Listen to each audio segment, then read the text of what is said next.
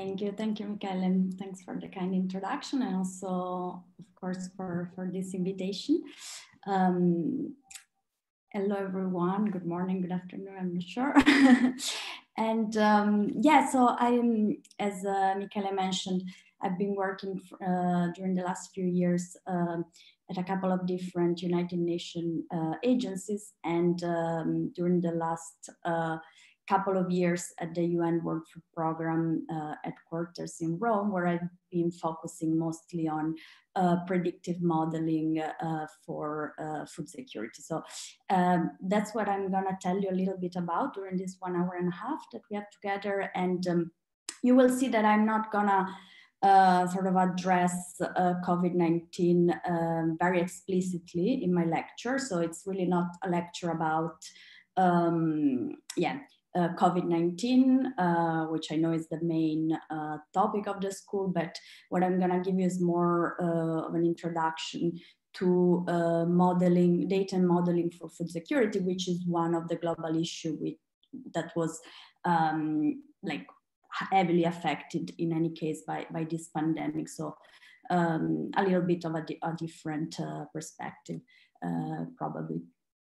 So uh, yeah, let's start uh, um, with um, uh, some definitions. So what exactly is food insecurity or food security? So um, th this is a broad concept um, that is somewhat related to hunger, undernourishment, but specifically food security is defined to exist when all people at all times have a physical and economic access to sufficient, safe, and nutritious food. So it's about availability of food, of nutritious food, uh, and also um, for people to be able to access it. So having enough money to buy it, or in, in any case, to, to be able to, uh, to get uh, this food and eat it.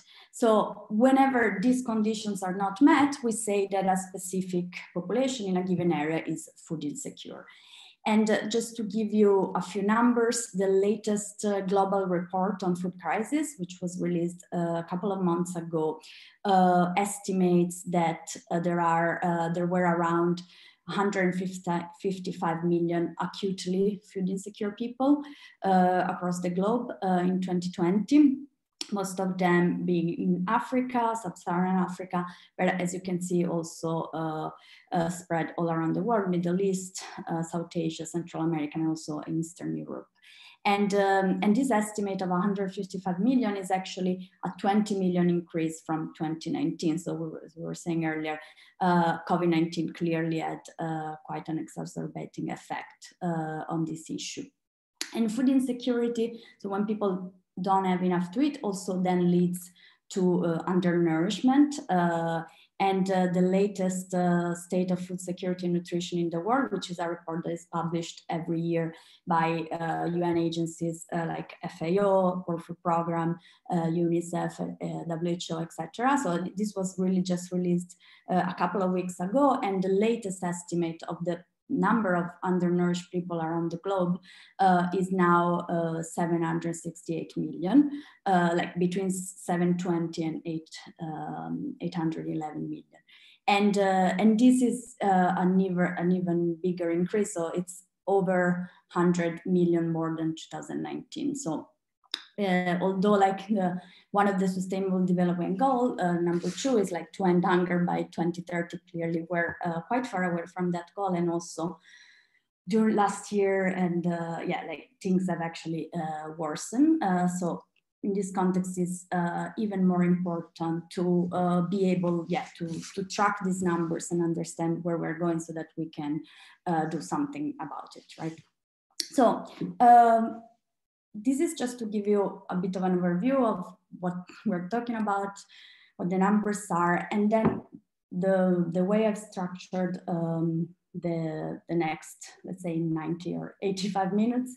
Um, I will first tell you a little bit about how food security is, is quantitatively measured. Um, so what are the indicators that are being defined, how the data is collected, etc. And then I'll move on to how uh, we can uh, make predictions of food insecurity when this data is not available. So uh, on the one hand, how we can now cast, like get a picture of the current situation uh, in areas where frequent and up-to-date data is not currently available. And then on the other end, also how we can forecast the evolution of the situation in areas where we do collect data, but we also want to know how things are going to change uh, in the future. And um, I will I will stop a couple of times for questions, uh, just to to make sure that yeah, like we everything is clear as we move forward. And then I'm also planning, if time allows, to to do like a short break after the nowcasting uh, session, just uh, so uh, be patient, like uh, if uh, uh, your attention span is starting to uh, to go down, let me know. And anyway, know that yeah, I will do a, a, small break so we can yeah, refresh. Um, so let's start then, I would say, with the first part. So how we measure food insecurity. So food insecurity, yeah, it's like a sort of a broad concept. Uh, it has different dimensions to it, but there's uh, several indicators that have been developed uh, during the years by uh, the World Food Program, FAO, etc., all these uh, different humanitarian organizations and governments. And um, specifically, uh, the I would say the four probably main indicators that are uh, the most used uh, are the food consumption score, household dietary diversity score, reduced coping strategy index, household hunger scale.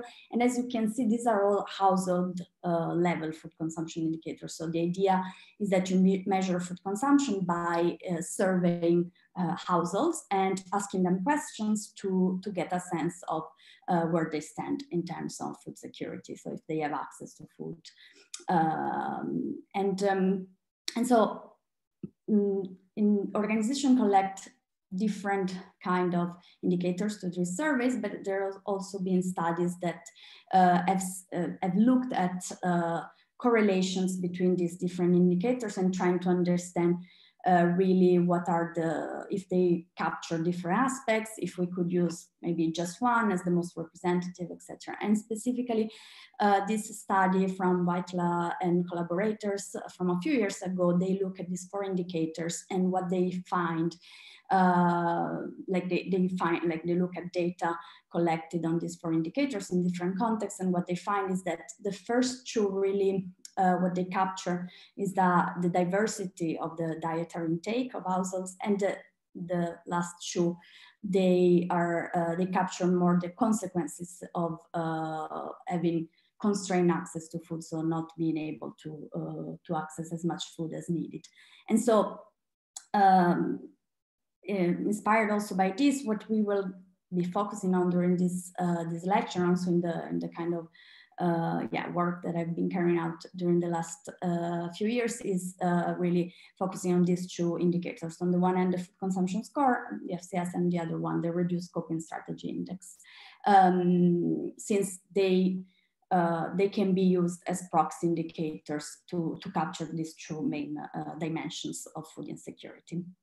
Um, so let's uh, let me define more in details than these two indicators. So the food consumption score, um, basically this is obtained by asking households, uh, so through these uh, surveys, uh, so how often during the last seven days have you eaten foods from different, uh, these different food groups, like main staples, pulses, fruits, vegetable, meat, milk, etc.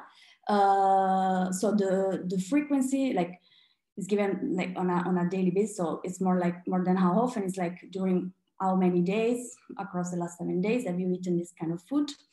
And then through these answers, uh, the food consumption score is built as a weighted sum.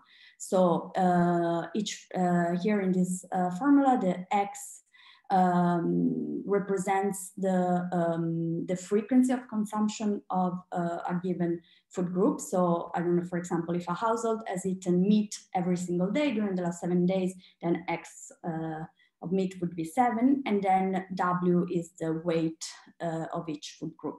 So basically the frequencies are summed up, uh, but weight is assigned where more nutritious food have higher weights than less nutritious ones. So for example, sugar as a weight of uh, 0.5, uh, whereas meat um, would have a weight of two or three. and then, so then this is how uh, this score is built and you can actually access the actual weight in the reference uh, here in this uh, um, publication by, uh, by WFP uh, from like uh, over 10 years ago when this one was defined. Um, and then once you have the food consumption score, there are thresholds uh, that are applied. So the food consumption score characterizes the dietary intake and diversity uh, of, of each household. And then um, through some threshold that have been defined by uh, food security experts, you can uh, label uh, or assign a category to each household, uh, saying to which food consumption group they uh, they belong. So they, if they have a very low FCS, like below 21, then they have poor food consumption. They are between 21 and 35, they have a borderline food consumption, so still not good. Whereas all households that have more than 35 in terms of food consumption score, they we can say that they have an acceptable diet and they are not households of concern. So this is uh, the first indicator. The, the reduced coping strategy in this, as we were saying, um, tries to capture instead what are the actions, the coping mechanisms that households uh, are um, need to put in place when they don't have enough food. So a similar question is asked. So again, during the last seven days, how often, like how many days did you have to rely on different uh, food-based coping strategies? So for example, having to uh, limit portion size or reduce the number of meals, like maybe once eating once a day instead of twice or three times, uh, or maybe borrow food or money from, from family or friends. And, and again, here for each of these questions, uh, there is a severity weight, and then the RCSI is computed as a weighted sum uh, of the frequencies uh, of these coping strategies um, multiplied by their severity weight. And this is called reduced coping strategy index because the original coping strategy index uh, contains uh, even more questions than these five, but then with time, um, yeah, like it was uh, basically uh, decided and shown that these five questions capture most of, yeah, like most of the dimensions that are needed. So here we have these two, um, two indicators uh, and uh, this is how uh, they are defined, uh, but they, and they, each of them really characterizes uh, specific households, right? Uh, then once we have this, um, like we will then see how this can be aggregated to get, yeah, like an estimate for a given area.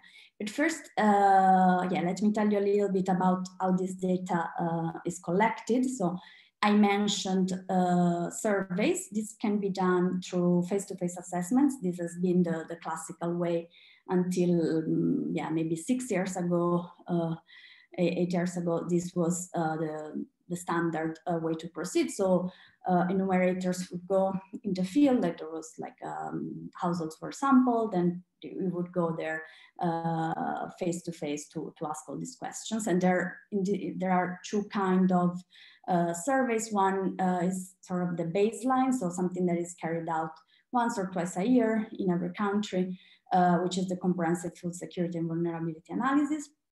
And then there's also other surveys which are quicker, shorter, which are done uh, at the onset of an emergency. So the emergency food security assessment, I know there's like a um, earthquake that it's a flood or something, and then you try to get a sense of the situation as quickly as possible so that you're then able to, uh, to provide resources where they're needed. And then uh, a few years ago, the mVAM project was launched, the Mobile Vulnerability Analysis and Mapping. And so this idea of uh, starting to, uh, to collect data also using technology and different modalities. So this, uh, this was ideated uh, during the West Africa Ebola outbreak back in uh, 2014. and the idea was that sometimes it's difficult, it's dangerous to, to go and perform surveys face to face, either because, yeah, there's like a pandemic, like we also seen uh, this year and last year, but also maybe because there's conflict, etc. So uh, uh, this tool was developed to try and uh, perform surveys through SMS or interactive voice response systems or uh, directly live calls, which is the, the most used modalities uh, nowadays. So sort of the same surveys, but uh, through calling mobile phones. And of course, this poses some uh, questions around uh, representativity bias. Um, I, uh, there's a lot we could deep dive in there. Uh, I'm not gonna um, do it uh, today, um, but um, there's a lot of interesting questions and but also note that, yeah, like right now, uh, you only need like to have a dummy phone to be able to answer these calls and these surveys. Normally there's some incentives that are given so that, um, and the idea is really that uh, nowadays, even in places like sub-Saharan Africa, um, yeah, like the penetration of at least uh, mobile phone connectivity with uh, yeah very low technology phones is high enough so that that to permit to reach uh, most areas, of course, not all, but uh, quite an extensive um, fraction of the, the, the population uh, also in this, uh, in this kind of countries. And um, so this, all these, uh, these efforts that I've mentioned, like right now they mostly have been carried out uh, either once, twice a year, like or doing ad hoc surveys. But then uh, a couple of years ago, WFP World Program uh, really started to uh, to understand the value of collecting information in near real time, and so having uh, a continuous picture of the situation. And um, and so they launched this uh, near real-time food security monitoring systems, also called continuous monitoring, uh, first in Yemen and Syria and in the northeast of Nigeria back in 2018. Then this was expanded in West and Central Africa uh, the year after. And then really with COVID-19 last year, uh, 2020, there was a huge scale up because we're saying like this, this is done through mobile phone calls. So even if mm, everyone was at home, even if it was dangerous to go around, etc. This could still be carried out. We had uh, local consenters making the calls. Sometimes the operators were actually working from their own homes and making the calls from their homes. So this could still be uh, something safe to do even within uh, that uh, this uh, very specific uh, situation. And so now there's uh, WFP is collecting data on a daily basis across uh, 35 countries and collecting yeah, more than 2,000, 2,500 um, surveys uh, per day.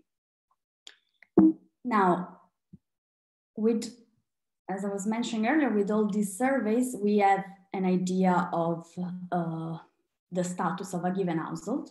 But then, of course, the surveys are designed such as um, so that you have a representative number of households uh, within each area of interest. Uh, there are several methods to do it. There's um, random digit dialing until you reach enough uh, households in different areas of the country that you're interested in. There are uh, sometimes WFP in specific countries has access to uh, phone database, phone number databases, etc. So there's uh, different ways to do it. But the idea overall is that you collect enough uh, household data in each region of, of each country.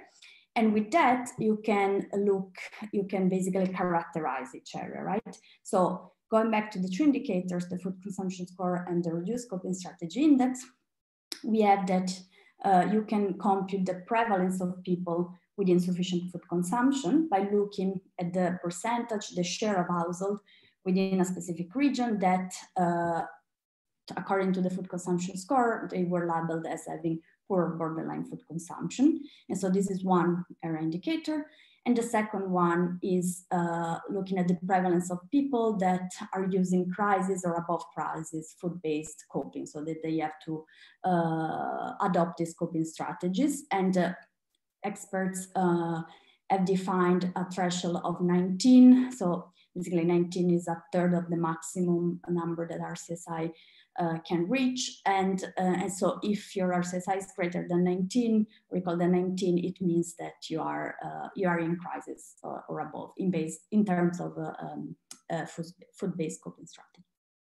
So these are the two indicators that we're gonna focus on uh, for the rest of the talk. So maybe before I move to, uh, to the predictive side of things, if there's any questions, since we're gonna basically uh, talk about these indicators a lot. I just want to make sure that everything is clear. And let me also see if I can see the chat because I'm in full screen mode. Um, and Elisa, I can also check the chat for you. I mean, if uh, if there's a question coming, uh, just uh, yeah, for for all of for everyone, just feel free to use the chat, uh, and then I can uh, also forward the question in, in, in, and then interrupt Elisa if, if it's that's okay for you. If sure, we sure, interrupt for questions. Okay. okay. Great so I take it that uh, I still, sorry, I still can't find the chat right now, but uh, I take it that I can continue then. Yeah, at least there are, yeah, no questions on, on the chat. Okay, great. Thanks, Michele.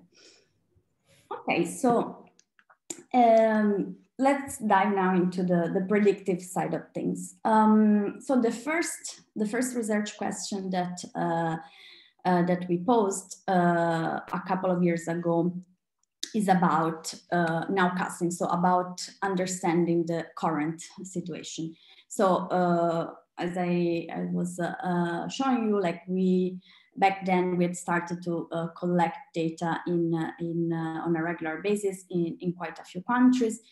In many others, there were surveys. There are still surveys going on once or twice per year. but there are still many places where uh, where we can't do this, either because of limitation in money or human resources. Uh, this information is key, but you can't possibly uh, basically survey the whole world uh, at all times, right? And so the, the first question that we're trying to, to address is, can we predict the food security situation in areas where up-to-date primary uh, information data is currently uh, not available? So can we develop uh, some sort of predictive model that can give us an estimate of the situation. Um, so the way we the the, the content uh, of like what I'm going to present in the next few slides um, is uh, fully described in this uh, preprint uh, that we uh, recently um, put online on uh, medRxiv. So if you want to know more and more details, um, yeah, you can uh, find the information there. I will also share links later and the slides and everything. So um, you'll get a chance to, to find it. Um, how did we go about this, uh, this problem? Well, the first thing that we did was to try to understand what uh, the drivers of food insecurity are, right? Because if you want to understand uh, the food security situation in an area where you don't have this direct information, then maybe you can get a sense of what the situation is by looking at the status of the different uh, the different uh, predictors, like different drivers of uh, different aspects uh, of the socioeconomic situation that drive food insecurity, right? So um, the the experts in the area they identified three main uh, drivers. Um, the first one is conflict and physical insecurity. As you might expect, let's think about Syria, Yemen, Afghanistan, for example.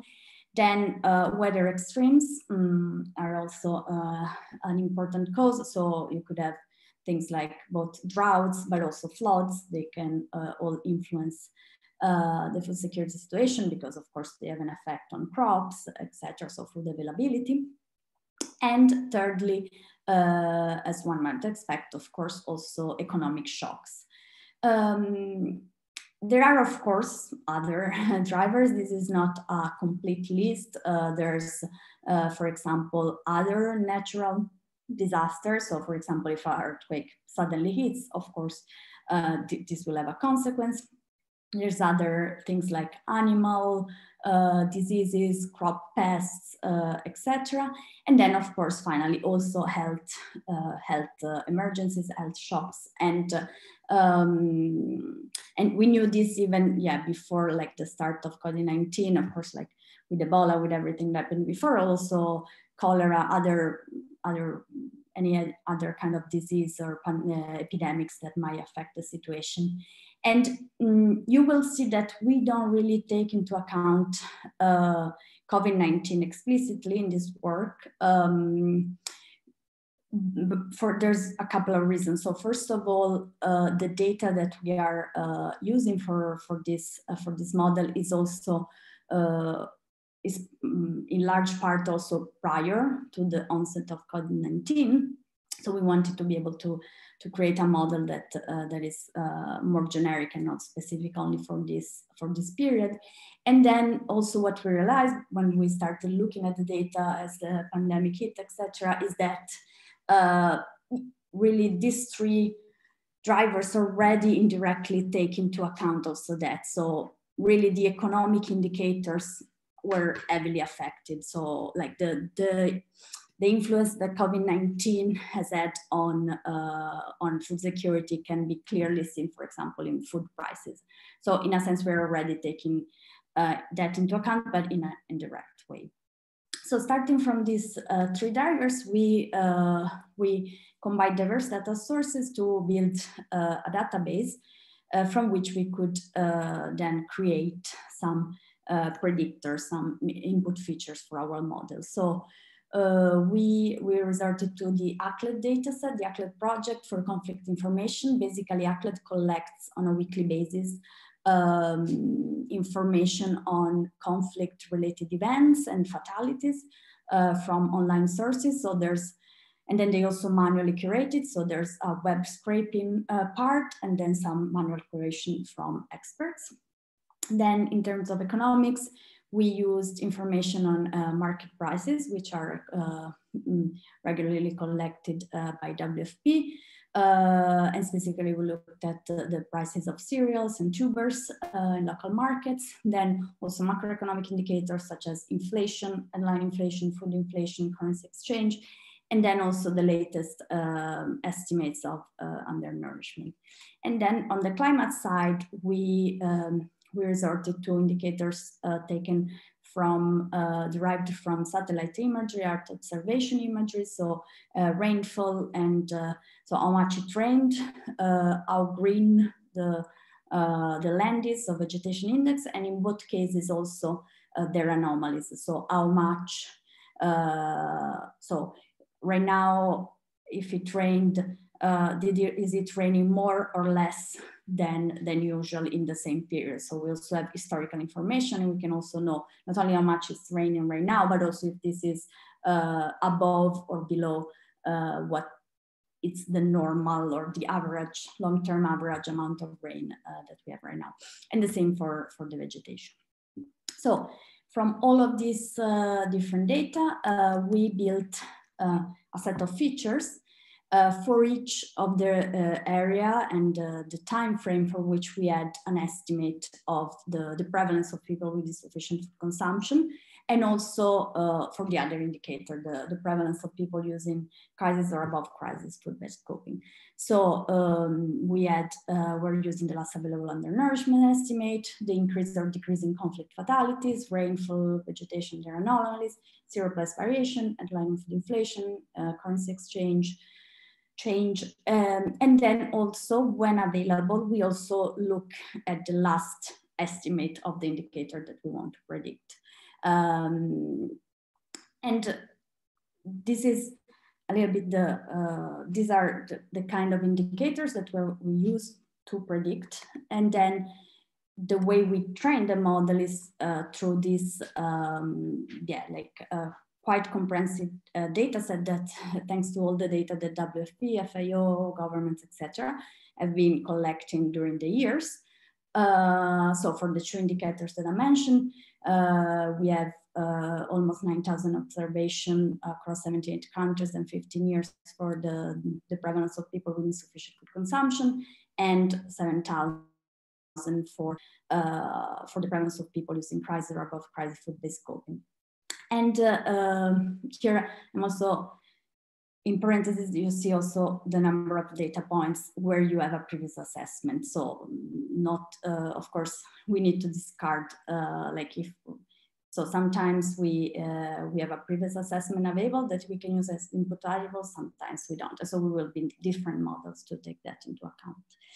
Um, and uh, the, our model looks at um, training the model and predicting uh, estimates at the first level administrative unit uh, all around the world. So all the data is uh, uh, is at that resolution. So that would be your, for example, regions in Italy or could be states in the US, etc. So depending on the country. So whatever is the first division that you have there. And because this is where uh, like the, the level of representation on, of our training data. And then also what we do is to build, uh, like our model is, is global. We don't distinguish uh, it's not like we build a model for each country, we just consider all the data together uh, and try to find patterns from there. So the approach, the modeling approach that we use is to use gradient boosted decision tree ensembles, um, XGBoost. This is a I think, a well-known um, uh, library uh, for uh, yeah for um, for doing uh, machine learning and specifically in our case a regression problem. Um, and the idea is to have um, yeah it's, it's a decision tree so where you you basically reach a result by uh, uh, a set of hierarchical choices and then instead of having only one tree you have an ensemble of trees um, so this could be also the same thing uh, when you when you have a random forest, for example, that's also the case. But then XGBoost, instead of training each tree uh, individu individually independently, uh, basically uh, this gradient boosting um, algorithm looks for trains uh, each tree iteratively and so tries to solve for the errors of the previous tree every time. So trying to, to get better and better. And um, uh, if you want to know more, I put there the, the reference to the original paper. This is a, an algorithm that has been used uh, widely in uh, a lot of the, it, it has shown to prove uh, to work very well in a lot of the data challenges, data science challenges, for example, on Kaggle, etc. It has high flexibility. You can have um, null values, etc. So for something that needs to uh, to then, as we will see, to run in real time, etc. This is uh, this is a very powerful framework, let's say. So, as I was saying, we what what we do is actually to build we build four different models. So, uh, as you already know, we have two different indicators: the prevalence of people with insufficient food consumption and the prevalence of people using crisis or above crisis food-based coping. And then for each of them, we actually build two different models. So we build a model where the uh, where as input variable we have the last measured prevalence. So it's like saying that we predict our uh, output variable at, at, a given time also by taking into account its value at the previous time, although it's not always the same time. Like I don't know if we're predicting uh, for September, we might have uh, a survey from February or from the September before, etc. That that varies. Uh, and then we, so we want to use this information when it is available, but then we also build a model where this is not included as input variable. So that this model, we can use it in cases where uh, we want to predict for a given uh, country or a given area and we don't have uh, a, um, a, previous, uh, we don't know the information about how the food security situation was previously. So we have two different models, but like four in total because two for each indicator.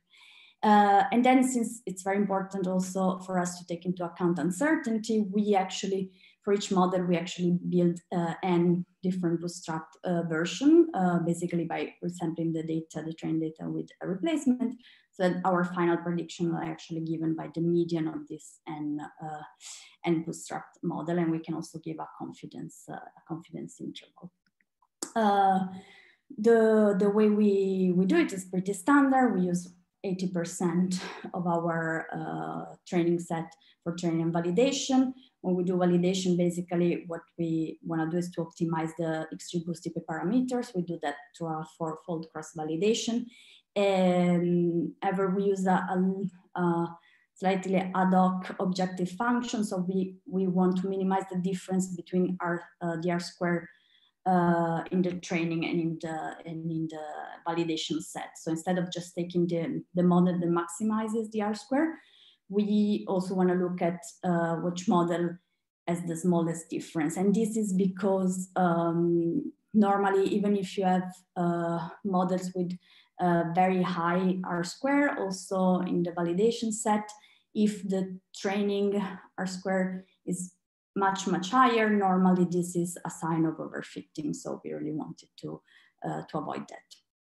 And then the remaining 20% is used for testing. So the results I will show you in the next slides are based on this remaining 20%. And, um, and I'm not gonna deep dive into this here, but we also did some feature selection. So basically all those uh, indicators that I told you previously, we, we built like some uh, for each of the um, predictors, let's say each of the different areas, conflict, economic, weather, etc. We built a set of different indicators and then we uh, we did some feature selection by uh, basically putting all the all the features in the model and then starting to remove them uh, uh and see basically which is the smallest set that uh, maximizes the R square and minimizes the, the mean absolute error that you, you can read more about that in the preprint.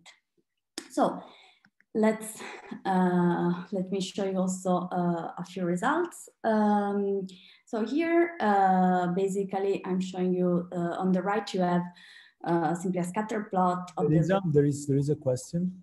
Sure. Yeah. Thank you. Um, the, Rui asks, uh, how exactly did you do the feature selection? Okay, let me maybe um, let's keep this for the end. Let's see how much time is uh, is left. Sorry, just because uh, if I deep dive into that, yeah, it's gonna take me uh, quite a few minutes. Uh, so maybe we keep this question, if you don't mind, for uh, yeah for the end, uh, based on how much um, time we have left. Otherwise, I can reach out like um, reach out bilaterally later. Um, okay, so uh, yeah, so here, these are the, the four models. You have the scatter plot, basically where we show the predicted value um, versus the, the, the observed one. And uh, as you probably know, like if the prediction was perfect, you would have like all the data points basically uh, relying on the, on the gray line, which is the identity line. Of course, this is not the case. Uh, models come with uh, uh, um, with their uh, share of error. Um, and so the, the, top two plots are the ones where you do have the previous prevalence, like the previous measured uh, prevalence uh, of, the, of the indicator as input variable. And you can see they perform um, better than the ones that do not include the independent variable, as one would expect.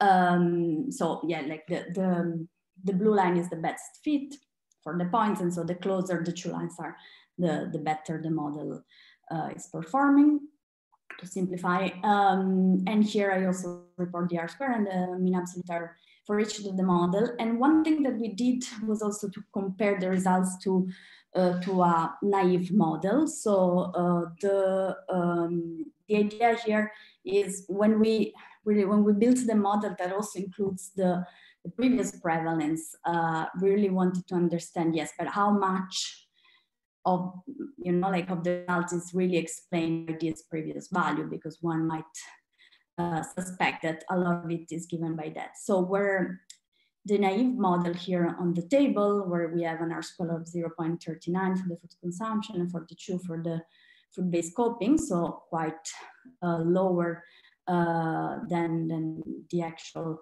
R square of the model. That's where we basically um, we're assigned to the prediction. We take as predicted value the um, basically the, the value from the previous uh, the previous assessment. So we just assign it. We just say, okay, it's the same as last time.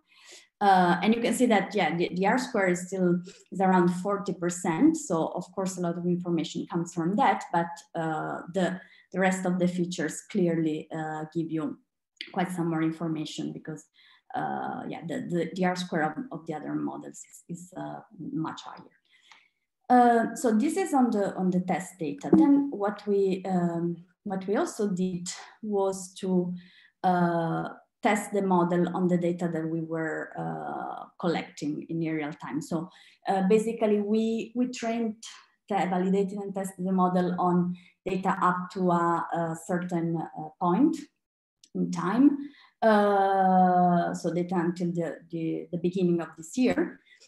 and then uh, with that model, we, uh, we also generated predictions. We generated predictions for countries where we are doing, uh, where WC is doing, is doing the continuous data collection.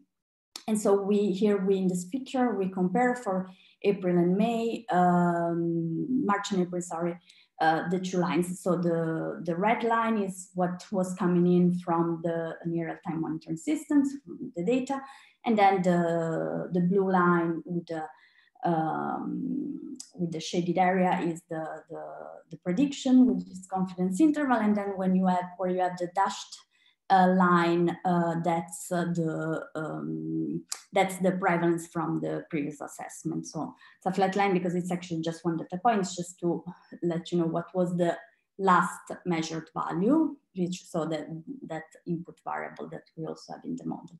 And um, yeah, what we see basically is that in uh, many cases, uh, we have uh, predictions that are within the, the confidence interval, um, or at least not too far from it. We have also cases where we don't really hit uh, the right value. For example, let's look at Benin or Burkina Faso. What we see is that our predictions are lower than the measured values, uh, but at the same time, uh, they they do a better job than just assuming that the situation has not changed since last time, which would be the, the dashed line. Uh, also, of course, also the data might be noisy. So I'm not saying that, of course, the prediction are better than the data, but let's just say that there is uncertainty in both. Here we don't really show the uncertainty in, in the data, um, survey data, but that's something that I think would be worth uh, exploring uh, further. Um, and then, yeah, there's cases like um, Syria where, yeah, clearly we are uh, far from the curve, but at the same time, uh, what the colors in the background represent is the different severity levels of food, uh, food insecurity. So basically when you when you are when you have more than 40% of the population which is food insecure like in syria the current estimates are uh, like around 55%. Our model predicts over 40%. Uh, really at that point, uh, in terms of decision making or like, uh, yeah, understanding food security situation, although of course uh, the, the, the difference quantitatively is big, but really you don't, um, yeah, you at that point it's just so many people that you need to do something either way, let's say. Elisa, uh, sorry to interrupt you. Uh, there are um, a few questions from okay. the chat. Uh, maybe, Michael, sorry, if you don't mind, I, I, I, have a couple of more slides on the results, and then I'm going to do that break for the question. Maybe we do that uh, then, or what Sounds do you think?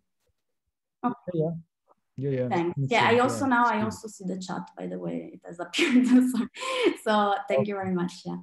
Um, so yeah, let, let me maybe just uh, yeah I'll finish these few slides and then we can take the uh, the questions and the small break. Um, so this is on yeah on the near real time data, uh, and then one thing that we uh, that was very important for us was also to explain this prediction. So this all of this was built really for uh, decision makers, uh, officers at, at, WFP to, to get a, yeah, like estimates of the situation. But of course, this model cannot be trusted if you also don't explain why uh, why you get uh, what you get basically right? So uh, machine learning models are often seen as black boxes and so also not really trusted. So to do so we uh, we resorted to SHAP values um, this is uh, a method developed in the last few years, which allows you basically to uh, explain your final prediction uh, from the uh, um, from an estimated value. So basically, your starting point, this um, uh, e of f of x, is uh, the um, the average value of of your of food insecurity, of your indicator in, uh, uh, in the original, uh, in all your training data. So basically on average, we have a 33.7 prevalence of people with insufficient food consumption across all our data. And then here we want to explain why for Mali, we get this 48%. Starting from there, and then basically SHAP values allow you to uh, mm, quantify the um, the contribution of each variable, either like in a positive or negative uh, contribution and get to your final value. So you really, you get a sense like of what are the most important features. The features are, are um, uh, displayed from the most important to the least important, from top to bottom. Uh, and, and so you can get a sense of what it is, what are the predictors uh, that got you to that, uh, to that predict, final prediction. Um, so this is the sort of the standard or waterfall plot for uh, using SHAP, like the library.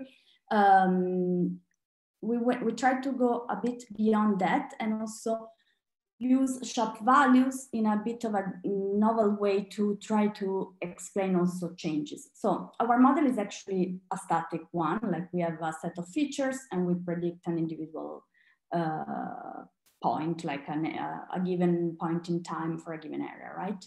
Uh, but then by running uh, this model on a daily basis, and basically we had to, of course, build a, a, database where that is uh, uh, every night it gets refreshed. So all these data sources that I mentioned, they come in through APIs on a daily basis, they get refreshed, etc. So on a, on a regular basis, you can rerun the prediction with the new data that has come in. And so this is what we get here on the left. Basically, this is an example from Lesotho. You get daily prediction by rerunning running the model every day. Um, and so you see that it's uh, it's a bit flat because what happens is that not really, we have data sources actually that have different also time resolution. Uh, and so of course, not everything changes on, on a daily basis as also one might expect uh, in general. And so what we wanted to do is to then try and capture the changes in time. So looking, for example, here, what is it that has caused this increase from 42% at the beginning of March to uh, 44%, 43, 44% uh, in mid-April.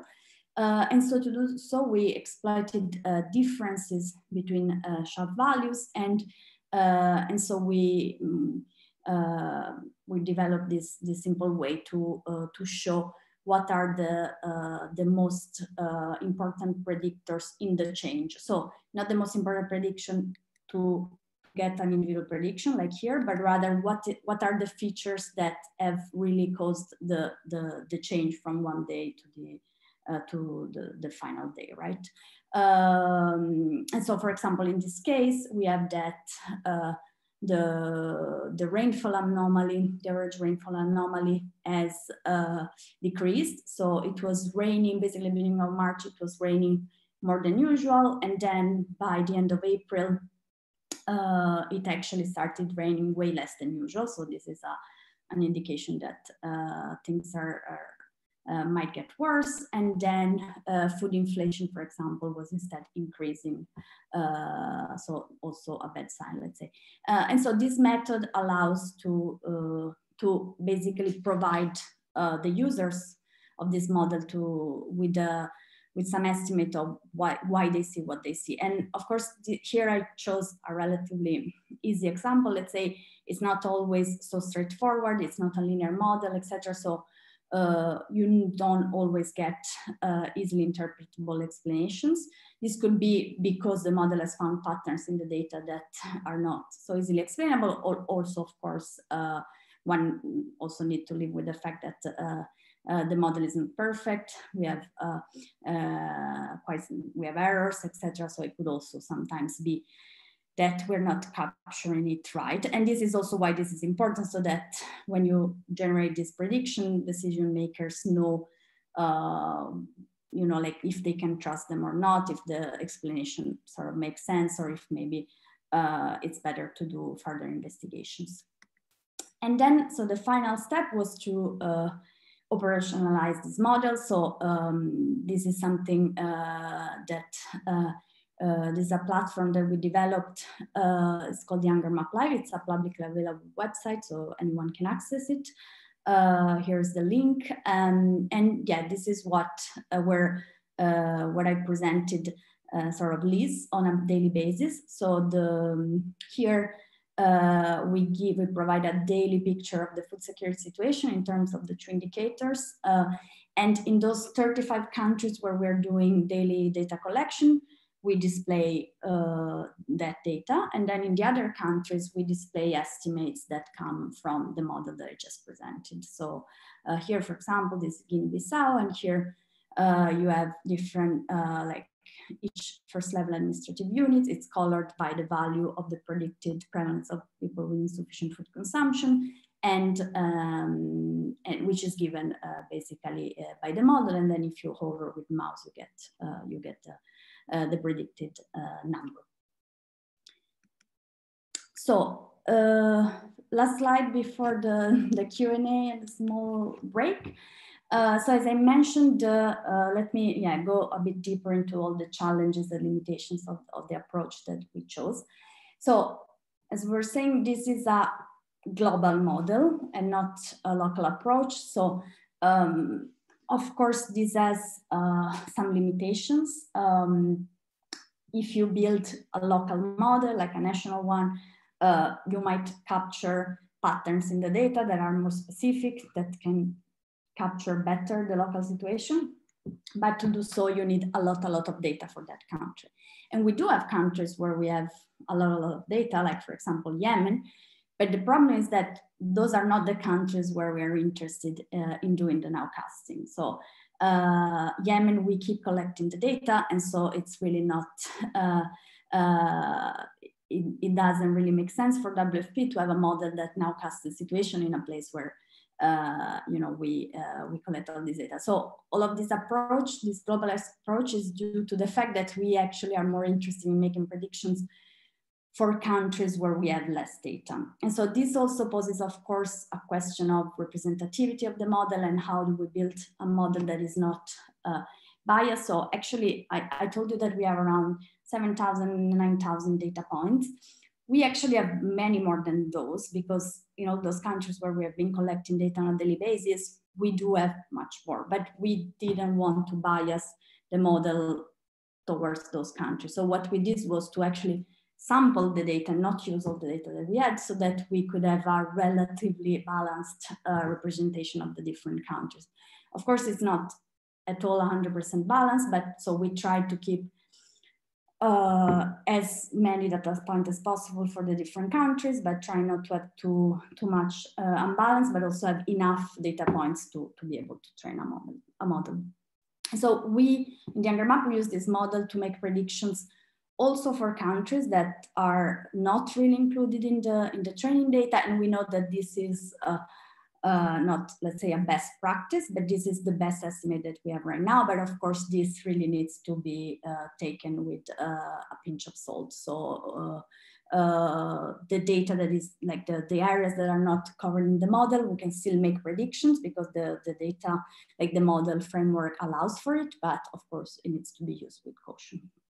And then one of the challenges that we had is to find open data that is available on a global scale at the same geographical and temporal resolution, so, and also that is updated frequently. So as I said, we built this data lake with all these APIs, uh, updating the data on a daily basis. So also when you think about additional features that could be included in the model, uh, this is also something that you need to keep in mind first. So are we going to find data that covers the all the countries that we that the, the map the HungerMap covers? And uh, is this data that is available and is being updated etc so that's one of the big challenges and also something that reduces a lot our ability to include as much information as possible.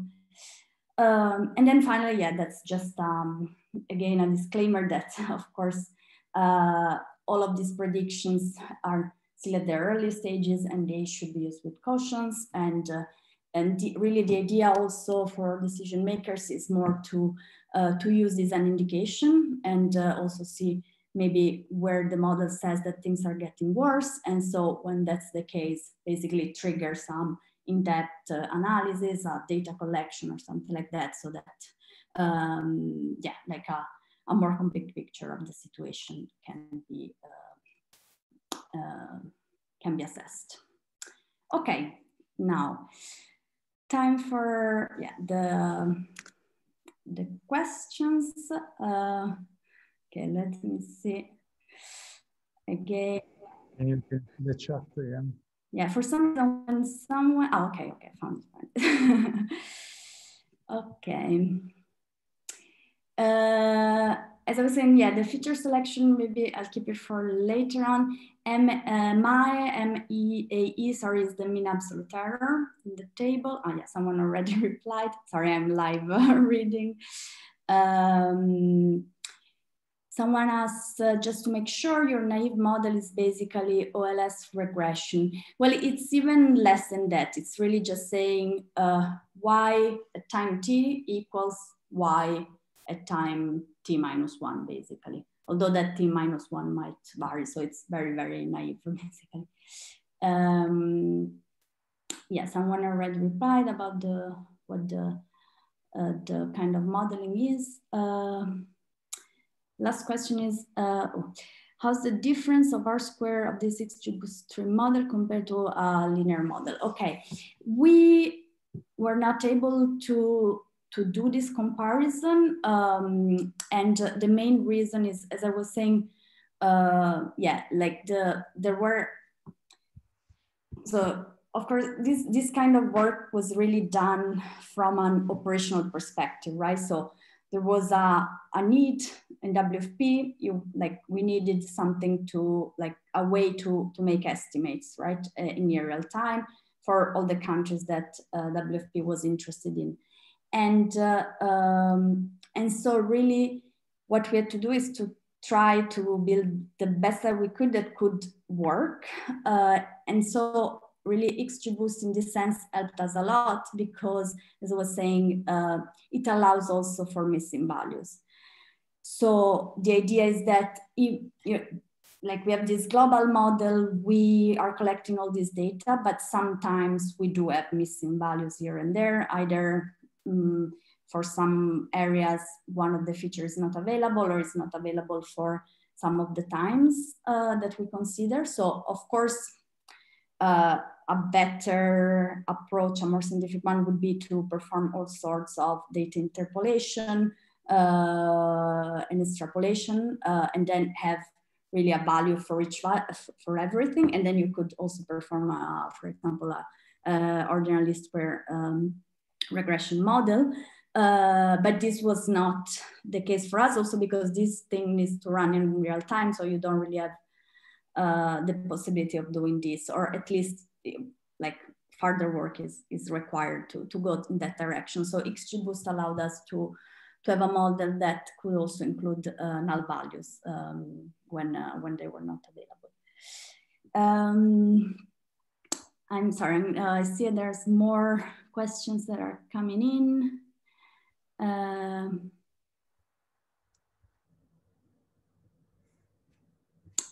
to, do so, you fitted two type of models. Can you explain the rationale behind fitting these two type of models? Yes. So uh, on the Hunger map, as I was saying, we do predictions for different areas in different countries.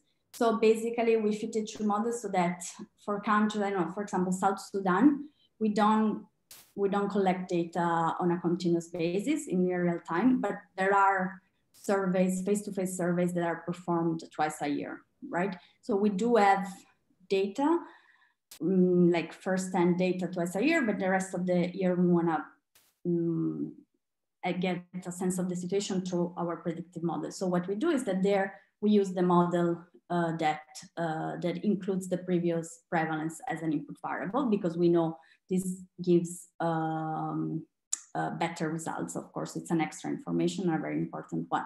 So in a country like South Sudan, that's the model that we deploy because we know that uh, that data is coming in twice a year. In other places where we still need to give some sort of estimates because the management, let's say, us so, we uh, even if we don't have this uh, uh, this previous prevalence, then we need to to use the other model. So uh, we also fitted a model where that information is not needed. We could have also just fitted only one model where we had all these NaNs, uh, all these null values uh, for the previous prevalence, but that didn't seem like a very smart move. So yeah, we, we rather had two models and according to the, the country, the area where if we have that information, we use the model that includes that information, and if we don't, we use the, the other model. Um, mm, mm, mm. Looking at the R squared, the contribution of including a previous measure is rather modest. Is it, this is not very surprising. Uh, I'm not sure what you're uh, referring to. Like if you, there's, it's actually like a 10, 10 or more percentage point difference. So when you do include the, the last measurement, it, it, it is higher because of course that's a, a very, mm, like you are basically, yeah, including uh, information of, of a very recent assessment. Um, Okay, so someone is uh, following up on uh, previous question of would you know this is the best predictive model if it's the only one you used? Of course, yeah, I don't know it's uh, the best. It's just what uh, we, uh, it's it's a model. It's something we, uh, we the best we can do with all these constraints that we have. What we did was to compare with a naive approach and we see that it performs better, but of course that's by no means what we think the best model that you can build. Um, okay, I see there's uh, okay quite a few more. Uh, I don't know if uh, um, yeah, I see we only have like around 20 minutes left. Uh, um, let me just quickly read through them. Uh, um, So on, there's a couple of questions, very technical. Uh, I would uh, probably just refer uh, both uh, Pouria and Rui to, to the preprint, uh, where you'll find the details on your question. And then um, going to maybe Stephanie's question, the last one. Um, yeah, we, um, do you think about including textual data sentiment in order to predict food security? that's uh, that's something like the use of social media data. Uh, that's of course something that could be uh, very interesting. Uh, we haven't done so yet, uh, also because um, like the areas where we were basically we need to make predictions for, most of them are not really uh, high. They don't have high presentation of social media like Twitter, Facebook, etc., and also uh, for some data, like there is also this issue of global availability, which, for example, Twitter would have, but we could it could be explored further. For example, maybe uh, I don't know in areas like Latin America and uh, uh Asia, maybe something that could definitely be uh, be looked into, where yeah, like there is higher penetration of this kind of of technology. So yeah, maybe future work. Uh, um, yeah, is it hard to convince policymakers about using such data? Yes, indeed. Uh, and this is also why we keep uh, keep underlying the fact that this uh, this is an indication, an estimate, and it's um, it's something uh, that they can be used um, to like as the best as the best guess that you will have without any primary data. Again, when I say best guess, I'm not saying that this is the best model you can get. But basically, if you don't have any data at all, at all uh, then um, you can start getting a sense from this. And what really is helping a lot, it's not implemented on the HungerMap yet, but uh, the, the, all this work here on explaining uh, you know, like with the SHAP values, explaining how the prediction is done, how it why it changes over time. That's uh, that's really something that uh, that was needed to to start getting uh, a bit more trust uh, from decision makers. So uh, this is not uh, operationalized yet because it's something we developed later on, but it, the, it's on the plan to to be put directly on the HungerMap. So you will be also be able to. to look at this kind of, of analysis and this we think will help yeah, in adopting a bit more this. Um, okay, so um, let's uh, take maybe not five because it's a bit late, but let's still take maybe just a couple of minutes break. Um, uh, yeah, drink a glass of water. Oh. Sorry, Michele, were you saying something? Yeah, I'm just saying. Uh, yeah, sure. Uh, let's let's take a couple of minutes break. Yeah, exactly. And I'll start back at 15, uh, like 3:15. Okay, thanks. Thank you.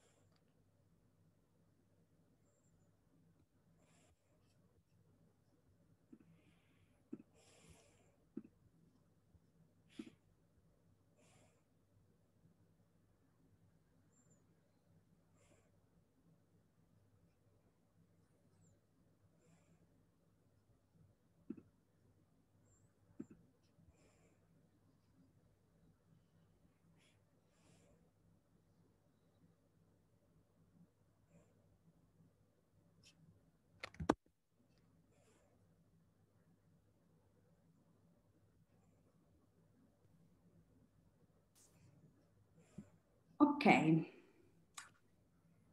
I guess yeah, I'll, um, I'll need to go a bit quicker to this through this second part and just give you a little uh, overview.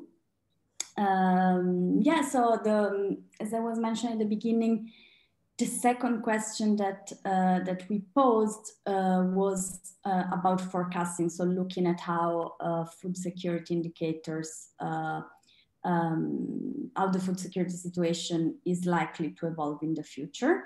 Um, and we could we can do this.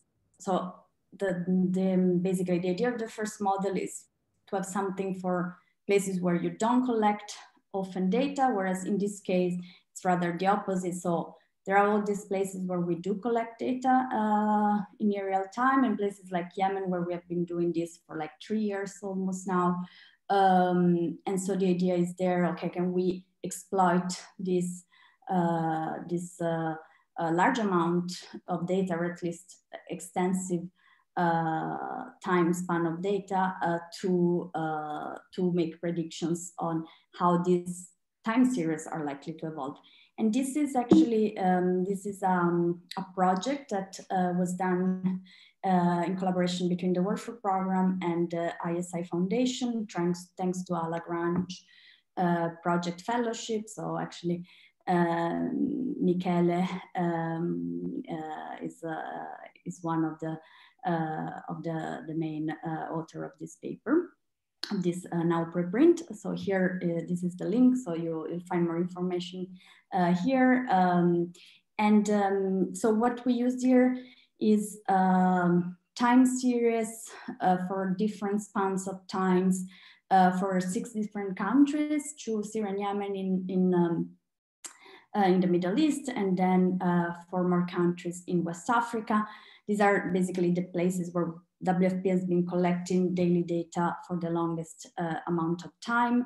Um, but so uh, the, the funny thing is that when you when you think about it, like Yemen, for example, it's uh, now almost three years of data, which for WFP is really a huge quantity of data. They've never seen something like that before. Um, however, when you start thinking about it in terms of um, uh, really of uh, yeah, in, in a more quantitative way, modeling, etc.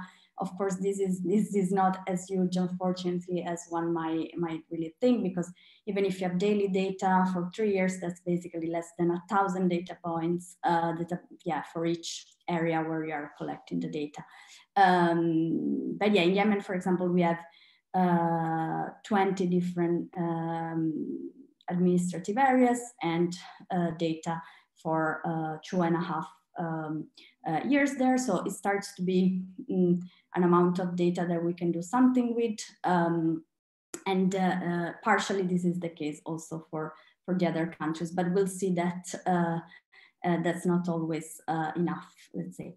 Um, so the first thing that we did looking at this time, so here every every graph is for a different countries and every uh, every line represents the, the, the prevalence of people with insufficient food consumption. So now we'll focus only on the on one indicator, uh, basically uh, for each of the areas uh, of the um, yeah, covered areas in the country. And also just by looking at this time series, we we can see that they are pretty noisy and it's it's tough to even just by looking at them like you might guess that it's not going to be an easy task to try to predict uh, their evolution so the first thing that we did uh, inspired by this paper uh, by scarpino uh, sam scarpino and giovanni petri uh, on the predictability of infection disease outbreaks that um, came out a couple of years ago in nature communication uh, I don't know if maybe Sam will tell you a bit more about it this afternoon. Uh, but yeah, the idea is basically to try and test the intrinsic predictability of a time series uh, by means of this uh, permutation entropy approach. So the idea of, measuring uh, uh, basically like the if it is easy to find patterns in the if the, you, you encounter patterns in the in the time series that you are analyzing. Um, and uh, unfortunately, yeah, there's really not time to go in, into it. But if you want to know more about this metric, I you can either find it, of course, in our paper, but even more details on um, Sam's and Giovanni's paper. Um, and uh, uh, so the idea, we, we looked at how this measure performs on our uh, time series and what we find is really very low values. So uh, the predictability is given like by yeah, this matrix is one minus this entropy. And what we see is that for our time series, really values are around like all below 0.5, uh, way below like more around 0.2, 0.3. So these uh, like in the context, for example, of infectious diseases, these values are uh, relatively higher and these values are more similar to the ones that you could find, for example, in a financial time series. So something that is volatile and hard uh, to predict. Uh, so this is the first thing that we found, uh, first limitation. And so we said, okay, so um, let's see if secondary information can help us um, to do this forecast. And so we included the same like or similar variables uh, variables that we were uh, that I also mentioned for the previous work. So uh, in this case, um, for this first work, what we're looking at is only the evolution of one of the two indicators. So the prevalence of people with insufficient food consumption. So the first thing uh, that makes sense to include is also information on the past evolution also of the other uh, indicators, since of course uh, the two are um, highly related. Um, and then we uh, added information on the, the, the, three main drivers that we, uh, that we mentioned. So number of the evolution of the conflict related fatalities, rainfall NDVI, uh, cereal prices, and then also we included a, a variable that uh, basically uh, tells you when in time um, you uh, like basically uh, Ramadan is happening. And this is because all the countries analyzed in the studies are all countries where uh, Ramadan is uh, observed quite uh, extensively. Uh, and, and what happens, what we have seen that happens during Ramadan is that actually although people are fasting during the day, but then they are actually eating more and more nutritious various food during the night. So actually the, the number of people with insufficient food consumption decreases uh, during Ramadan and it, this, this increase, decrease light in that period can be easily explained if you, if you take into, this, into account this, uh, this simple variable. Uh, again, we, we went with an XGBoost approach. Um, I mean, there we discuss in the paper uh, different uh, possibilities. Um, again, this is not the best model, uh, but this is a feasible approach given the number of data points that we have. Um, given that XGBoost actually does not really support a multi-output design, we have a model for each prediction horizon. Uh, so for example, if you want to predict one day into the future, three days, 30 days into the future. Um, so that's our output variable. So we have one model for each uh, uh, for each of these, and then we use the past history of the time series itself as well as of uh, all these other uh, indicators that I mentioned. And here um, we also resort to uh, cross-validation, but in this case being uh, a time series approach. So we have a time ordered k-fold cross-validation. And and here when we do validation, we don't only um, optimize hyperparameters, but also uh, features. Uh, and uh, instead of doing like a simple grid search, since we have many more um, parameters to, to combine together, we, uh, we use this um, Bayesian uh, mm, based library called HyperOpt. So a bit of a different way to, to do this optimization by exploring uh, the space of parameters in a bit of a smarter way.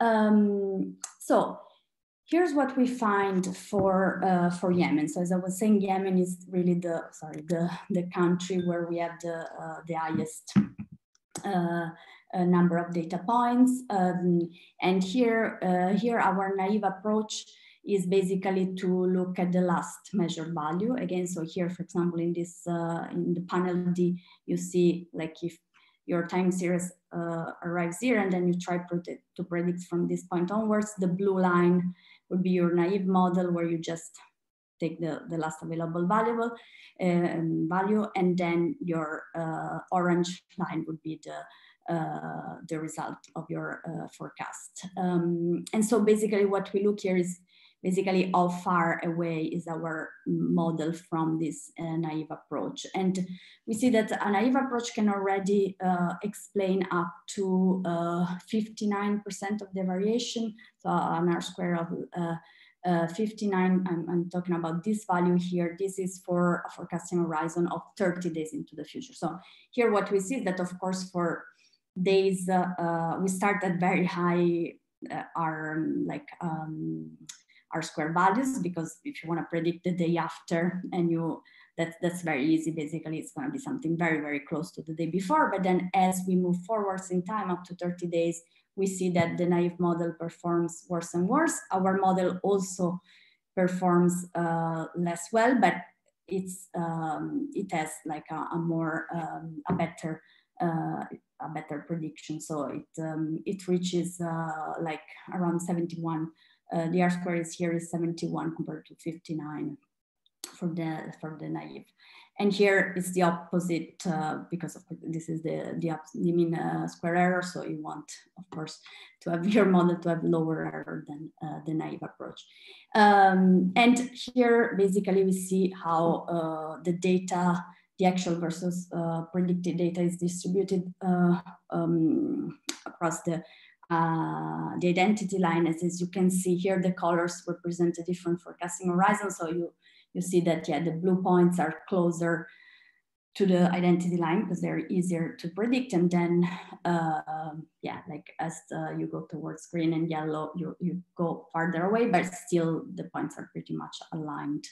Uh, yeah you, you can very well fit them basically um, across uh, like on, on the diagonal uh, we also looked at the feature importance uh, and basically what we see is that indeed uh, the indicators like the here FCG would be yeah, the prevalence of people with insufficient food consumption and RCSI uh, is the prevalence of people using crisis or above uh, food-based coping just for to make it shorter. Um, and as you can see, yes, like at the very beginning, you have that these are like the, the the, the features of your model that mm, play the, the biggest role. But then as you move forward, you have other things that come up, like the price of cereals and tuber, the rainfall anomaly, NDVI anomaly.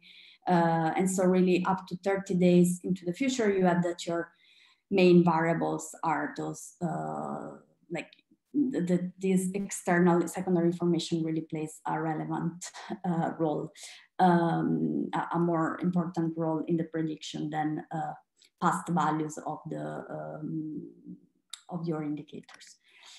And uh, finally, what we, this is really, mm, say the last message. So we, I showed you the results for Yemen, and this is where the model works best. It works um, okay also for Syria. Uh, although not as well. And then we really saw that for the other countries, it was really not working well. A naive approach uh, could give better results. And so here what we show is really the uh, importance of the, the amount of data. And this is something that, uh, of course, you uh, you uh, you might expect, uh, but this is a very important message also for yeah for WFP because it shows that basically the more data you have, uh, the better uh, a forecasting model can perform. Um, and really this is, um, this is an important message because uh, there is still, we're saying there's not enough trust yet on the predictive modeling, but there's also uh, these organizations are also starting to understand now the value of really uh, collecting data on a regular basis. This has not been the approach for many, many years. And so it's really important uh, to show them that when you uh, when you collect uh, data on a regular basis, you are not only able to uh, to see how the situation is evolving, to look at the past and the present. But then, if you have enough data, if you do this data collection uh, regularly, you um, you can uh, really also um, inform models that will allow you to get a sense or uh, a, first, uh, like a, an estimated idea of how the situation is likely to uh, to evolve in the near future. So you have really um, a double advantage of doing so. So yeah, I'll stop here because I know it's already 3.30 uh, and then I'll let, uh, yeah, Michele, uh, yeah. Thank you very much, uh, uh, Elisa. Thanks, uh, thanks a lot. I, I think, I mean, there's the, I mean, it was a great, great presentation with also many questions during the, during the talk. So I think uh, it raised uh, quite some interest. So um, I don't know, I, I, think we can take a couple of minutes if there are more questions. Actually, I have one, one question for you in the sense that uh, um, I'm thinking of, uh, so since, since the students uh, uh, of the school, we, we are trying to, um, so to, to, to organize group project works where students in team will address some some uh, uh, small uh, research project here. I'm thinking whether um, it would be, so if, if there are data sources they could use for instance, to study or to try to investigate the effect of the COVID-19 pandemic uh, on, uh, um, on food insecurity uh, with some publicly available data source uh, because I mean this might be of interest for for some of them. I know some of the so the data sources we have been using for uh, um, yeah of course to predict food insecurity in our work. Now I'm thinking maybe of the conflict data. We could use also that data uh, combined with the with the COVID-19 uh, incidents in some countries to see uh, maybe to study a bit of a feedback loop between conflict and, and epidemic. Uh, I'm just thinking of, uh, well, if it comes to my to your mind, uh, some some way um, that, uh, yeah, that the students could address this question, of course, even on a very preliminary basis and with some coarse-grained data, of course. that would be very helpful and, and interesting, I think, for, for some of them. Indeed, maybe as someone was also um, suggesting in the chat about trying and look into um, data like Twitter or um, yeah, maybe could be done like in some local specific context, like uh, for example Latin America and Asia, which uh, have been high, uh, yeah, heavily hit by COVID, and uh, at the same time, where there's high penetration of this kind of technology. There we have less uh, data on food insecurity, but for example, Central America and Colombia, uh, so if you look on the HungerMap, you will see there's, uh, we do have, um, for example, on the HungerMap, you will see the last uh, three months uh, uh, of the, for the two indicators, so you can use that as reference. Um, uh, in Asia, we really have very few places where we do the, the data collection. So maybe it's harder if you want to do the, yeah, like if you want to see um, a specific, uh, yeah, mm, like really look at correlations or, or these kind of things. But um, Mm, yeah, or otherwise you can also uh, take a look at um, database uh, platform where we we make publicly available, available food prices, economic indicators, also all the, the weather information is there. So let me maybe share the link. Yeah, uh, right. I think this would be very helpful uh, because yeah, uh, yeah, you, you have you have data on on like food prices, for instance. So exactly. So uh, here here's the link, and yeah, all of this data is. Uh, uh, publicly available can be downloaded if you select a yeah, specific country you can download everything through csv files etc so uh, yeah, yeah that's, that's, great i think this could be this could be a uh, so a starting point for for one of the research projects uh, uh, like trying to combine uh, this type of data with publicly available data on, on the pandemic and see i mean whether there is some relations uh, uh, between uh, the food insecurity as measured by prices, etc., with with the pandemic itself. Yeah, and, and unfortunately, yeah, there's the API like all this uh, data that we also used in our work uh, yeah like the idea is to make them all public and downloadable unfortunately the api is not uh, ready yet so yeah for the purposes of this week uh, yeah, I can, yeah, there's, um, there's no way of really downloading it directly, but maybe, yeah, you can either use the HungerMap uh, and scrape it. no, I never said that. or yeah, like, um, or at least to, to get re some reference uh, numbers.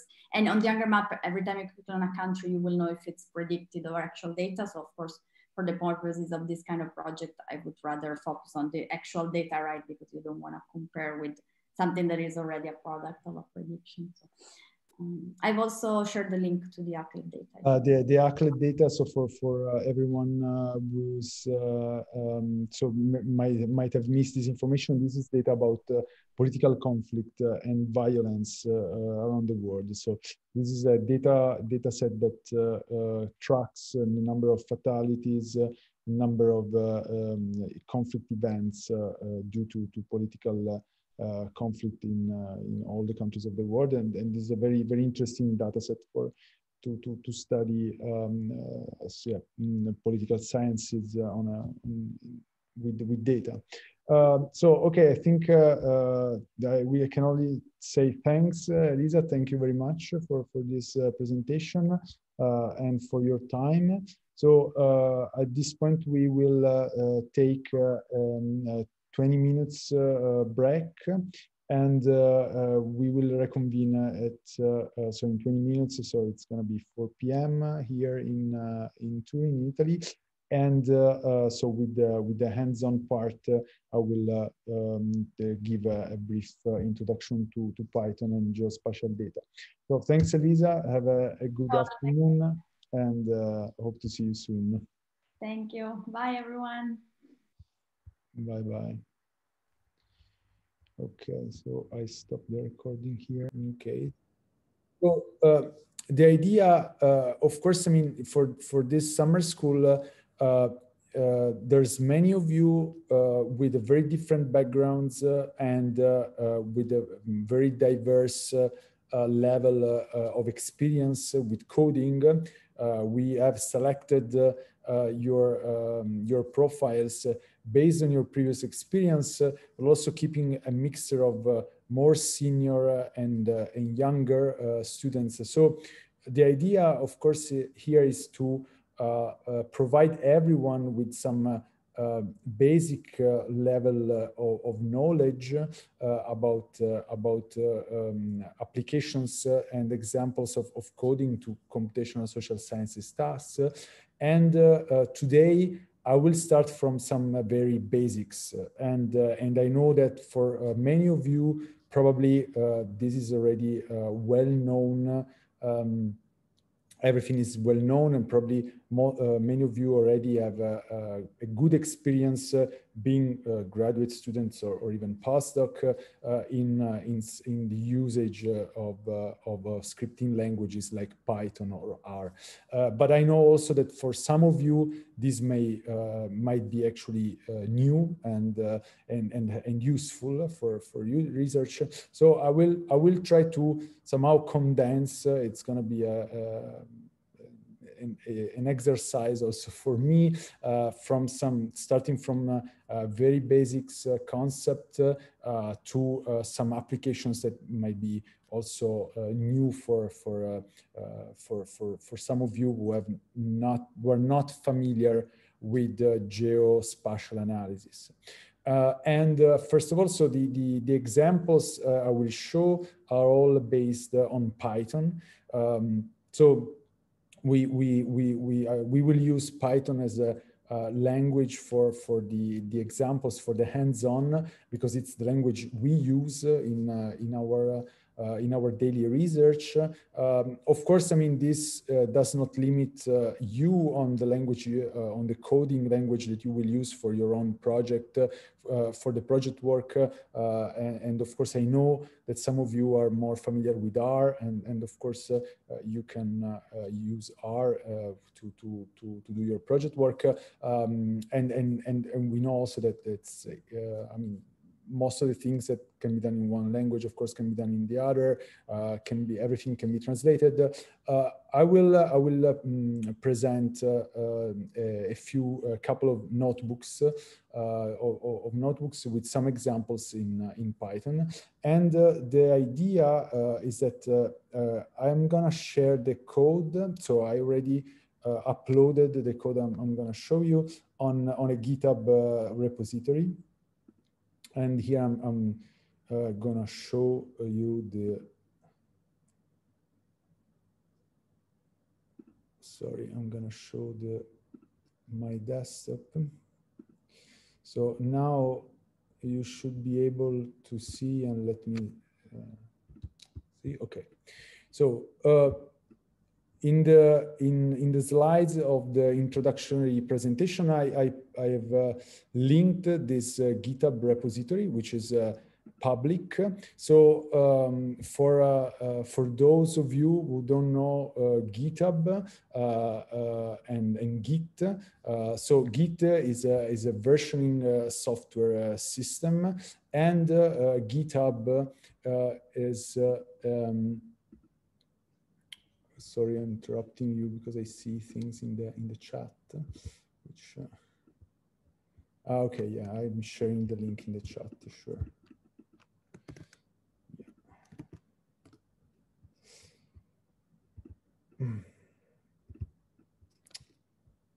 So um, so GitHub is, is a is a is a web platform that allows to uh, share code and and code versioning on on, on and so to, to build a large uh, software project and, and share them uh, publicly or privately. In our case, this is a, a, public repository uh, where uh, I will upload uh, um, the code also of the of the next of the next lectures.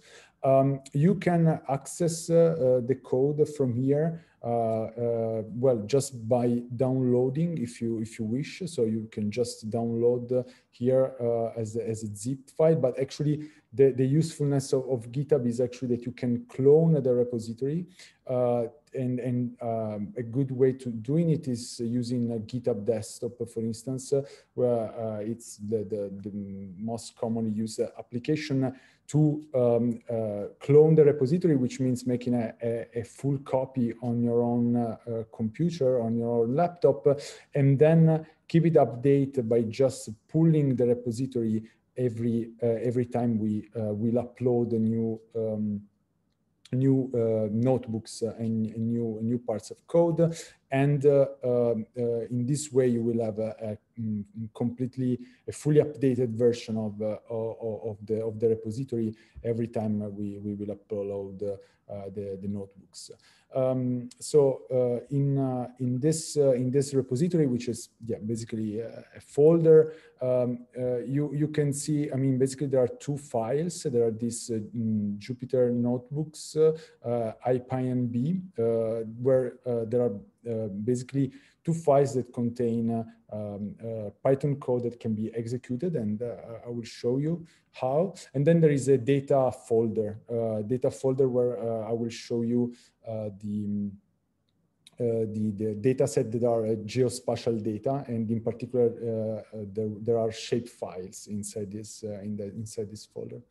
Uh, so uh, we will use Python, as I said, and uh, um, I, I, don't know how many of you are, are familiar with Python already. Uh, my suggestion for those who haven't uh, used it, who have never used it, or or have are less familiar with it, or do not have um, a, a, full, let's say, uh, um, a version, a recent version of Python installed in their laptop is to use uh, the uh, Anaconda um, bundle. So basically, you can install um, a, a, full Python installation that basically contains uh, all the modules and the libraries that you may need uh, for most of the of the research tasks uh, uh that are uh, mm, that are considering in uh, in our summer school by installing the Anaconda Python 3.7, which is um, downloadable from this this website and and for free the individual individual version and, and, you can download it for uh, uh, all it's available for uh, all type of platforms you are using. So whether it's it's a mac or windows or, or, linux. And and then you can basically installing this one big um, installer you have access to all the python libraries that that are relevant for for our course. In particular, you will have access uh, to uh, the um, to the Jupyter uh, notebook and, and Jupyter uh, lab, which are the um, the um, which are the um, environments that uh, we are gonna where we are gonna um, uh, actually display i'm gonna display the code and and, and running it and, and showing it. So here um, basically i'm uh, on my um, uh, on my terminal on my shell uh, uh, on my on my mac i hope everyone should be able to to see the the whole thing and uh, um, basically, uh, I'm also uh, already in the in the folder where where the code is. So the the same social quant summer school where the two files I've mentioned are, are present. And I'm using this this command to run Jupyter, which is basically a web uh, interface to uh, run uh, the code, the, the, the, Python code uh, from from the browser, basically into um, into a, a, a, notebook format. So here I I can. I can run it you can see that basically it opens uh, um, a tab here where I'm basically uh, having access to um, the two uh, notebooks, the two files. Here on the left, uh, I see uh, the file, uh, the, the, the, file tree. So basically the two files and, and the data folder. And, and the two files are also open in this um, window next on next to it on the right where basically are these are notebook 01 and notebook 02 and and basically uh, here a notebook is uh, um, an object that contains, uh, is formed by cells. And cell can contain uh, either um, markdown, so comments and text, and code itself. So basically, um, uh, here you can see a cell that is made by uh, by text and uh, and here is a cell that is that contains code and uh, Python code. And uh, um, the, the, the, Jupyter Lab allows me to run uh, code inside the cells and immediately see the output of the code within, within the notebook. the, the idea of using Python, well, basically, uh, the the main choice is that it's uh, it's uh, it's easy. Let's say Python, it's easy. It's a bit it's a bit of a joke. Here I can show, you, for instance. The, there is a famous, now old but famous it's K, um, it's KCD um, comic that basically uh, tries to, to, to explain with a joke uh, why, uh, I mean, Python gets, uh, has become so uh, familiar and so relevant uh, in scientific computing because it basically allows everyone to um, actually import a large variety of libraries and modules uh, and, uh, and, and basically in a very, in a very easy to understand uh, way um, allows to uh, access uh, all type of functionalities that are that can be useful in any in any scientific computing environment. And um, and so as you can see the the notebook allows to um, import and, and basically to use um, uh, and write code inside cells and immediately display the output. Here, what I've done uh, was basically to import uh, um, a module from, from, from this library and just show an image from the uh, taken from the web. So basically here I'm taking uh, an image from uh, from from an URL and just display it on on on the notebook.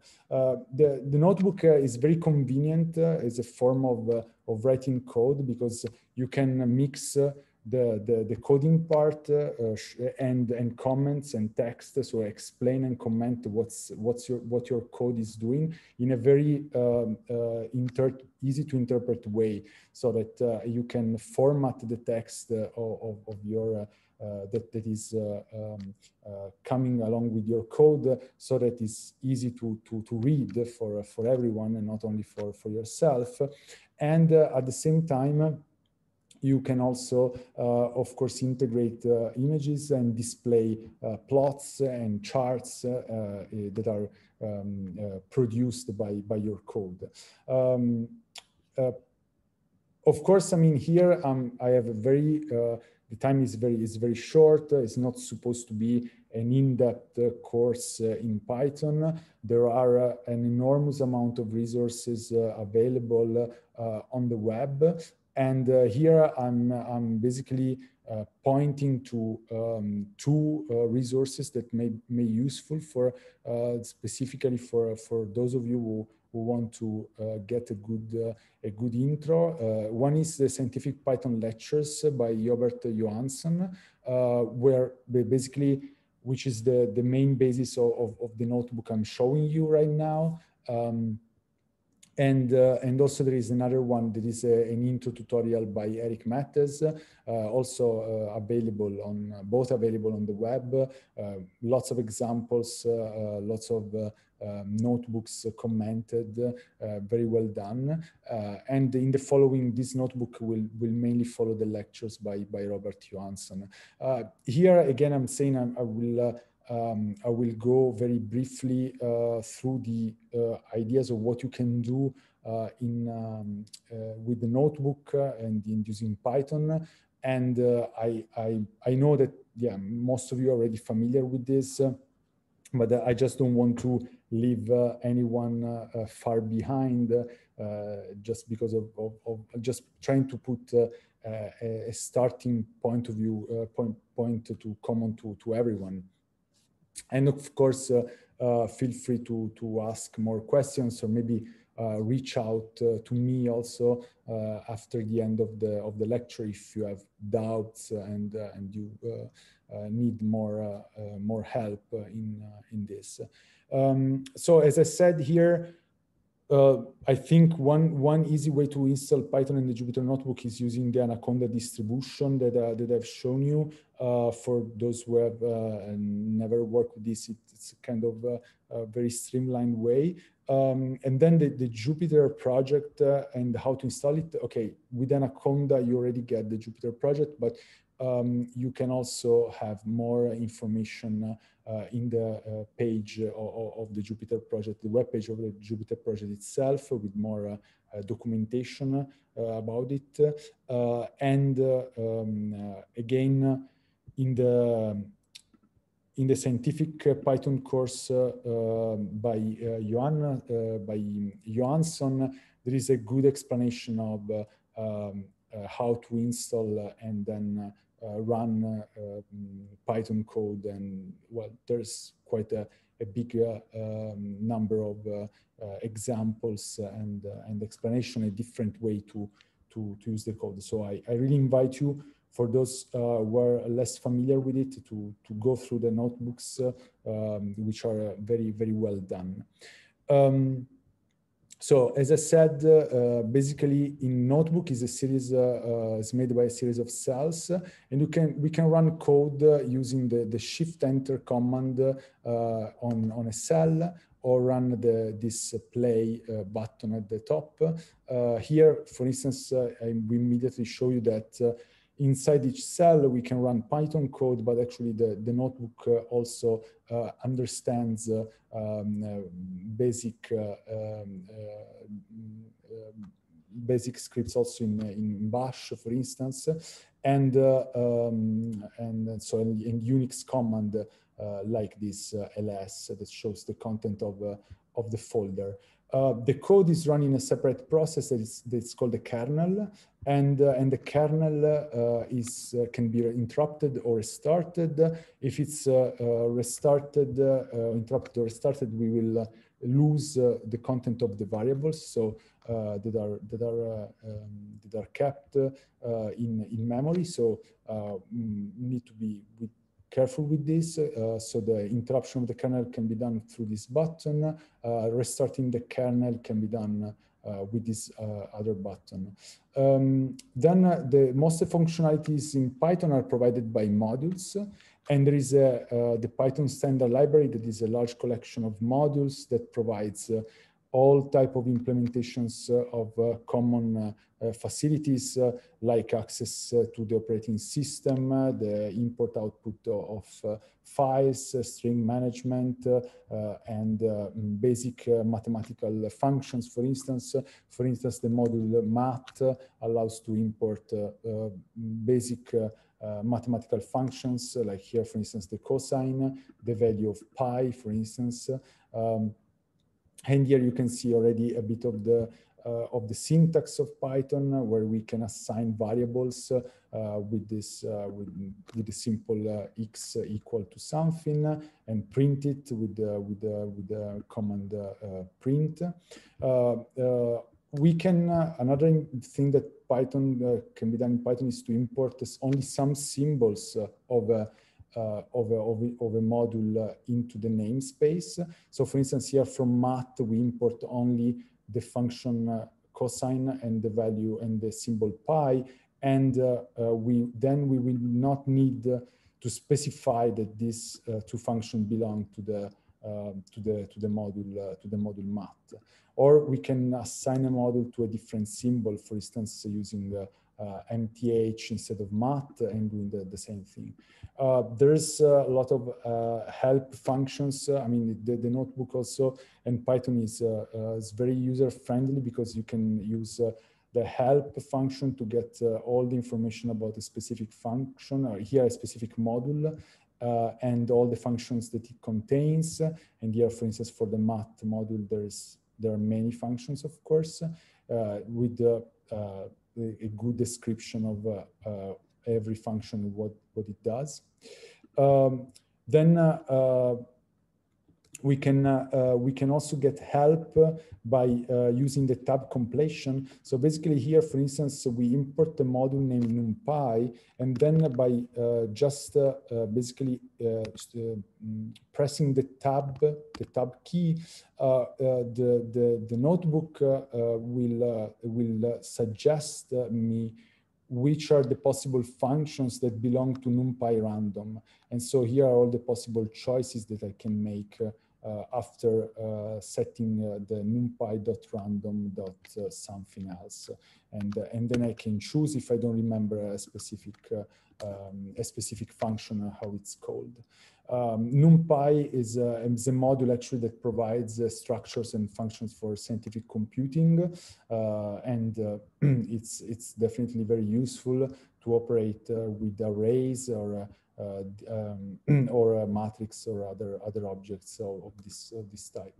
Uh, we can use the the um, the, the question mark symbol also to get more information about a specific module and uh, that is always nicely formatted and you can see all the content of, of a module here, for instance. Uh, another very good thing of, of, Python in general and of the notebook is the, the fact that exceptions are formatted nicely. So when you uh, try to do, for instance, a division by zero, you get uh, a, a, clear error um, box that shows you where the error is and uh, what is the line where you are making a mistake. The code is uh, cannot cannot be cannot be run. Uh, the assignment operator is the equal symbol, uh, as I said, and, uh, and Python is dynamically typed language. So the point, a very important thing is that we do not need to specify the type of variable when we create one. And uh, for instance, we can have three variables and say that uh, variable A is an integer, variable B is a float, variable C is a is a string and uh, uh, the, the, the, the, the, kernel doesn't need to know in advance uh, that these variables are, are, of this type and we can always reassign variables of different types afterwards without um, making this explicit before beforehand. there is also this load um, load magic. So here is basically this, uh, this syntax is the percentage plus load. You can import the code from local files or from the URL. If you have some, mm, uh, for instance, load my myscript.py. Uh, if you have a, a, script written on a file that it's called myscript.py, uh, then you can load it into the, the and import in, into the, uh, the notebook by, by using just this, this function. Um, uh, strings uh, are variables that are used to uh, storing text. And uh, like, for instance, the, the, the, C was a string. My string is made of characters. We can access uh, single characters uh, by position. So for instance, a treating basically a string as an array. So basically the, the letter, the first letter of the string can be accessed by just using this C0. So and then we can uh, we can also slice it. So this is another Python functionality. With this syntax, we slice the strings and we and we uh, select only the first five characters, which are of course uh, the first two. Then there is an empty space, and then there are the last two. We can also uh, so the indexing is also uh, allowed to be reversed, so we can access. Uh, the, the, the second last element of the string by the, using this this index minus two and actually Python has a really rich set of functions for text processing. So uh, uh, for in general to manipulate text, uh, Python is, is a very uh, a large number of libraries that are quite advanced uh, to to to yeah to process text to manipulate text uh, and here okay I will not go much into details but we will see in the next um, uh, in the next lectures uh, some uh, some examples in the in the next days. Um, so then uh, we have lists, of course, uh, that are similar to strings, but uh, elements can be of any type, and not only characters. And here, for instance, we have a, a list of, of integers. And again, we can access elements by indexing in the, in the, also in the reversed order. So minus one is the last element of a, of a, of a list. Uh, the len allows to, to know which is, what is the length of a, of a, of a list. Uh, we can create, uh, populate a list by, um, by ranges. So with the, with the function range, we can create a list L and then print the content of the list here. For instance, uh, we have a list that starts at 10, stops at 30 with, uh, with step two. And here you can see also how a for loop is, uh, is written in, in Python. Uh, tuples is an, they are another uh, type of variables in Python uh, where are, that are like lists, but they cannot modified once they are created. So they are immutable. And uh, uh, so they are with this uh, parentheses and basically they can be useful yeah, to create objects that cannot be modified in, in your code. And you can always access, and here you can see if I try to reassign the value, to reassign the first uh, element of a tuple, uh, I will get an error. Uh, and then I can always, of course, um, access elements with, the, with the standard indexing. Uh, then uh, we have dictionaries in Python that are also like lists, but uh, each element is a key value pair. So the, the syntax for dictionary is the, of this uh, graph parentheses, uh, and basically the uh, key uh, values uh, and the uh, value and the value pairs are separated by um, a, a, column. And, and here, for instance, I see I created a dictionary that assigns to the to the string parameter one, parameter two, parameter three, three different values. And the um, keys in a dictionary are always uh, are always uh, uh, unique, while values can be, of course, not not unique. then I can we can always access the keys of, of, a dictionary using the um, the, the, the, function keys, and then also uh, reassign different values uh, to uh, different keys or create new keys in a dictionary. Uh, for instance, here I'm assigning parameter four. Uh, the notebook uh, supports the, uh, the text, uh, the adding of text uh, using markdown cells. So this is a markdown cell here. The type of cell can be seen here in the in this in this part of the of the notebook, where basically I have a markdown code. in markdown, okay, markdown is is a markup language that basically is a superset of HTML.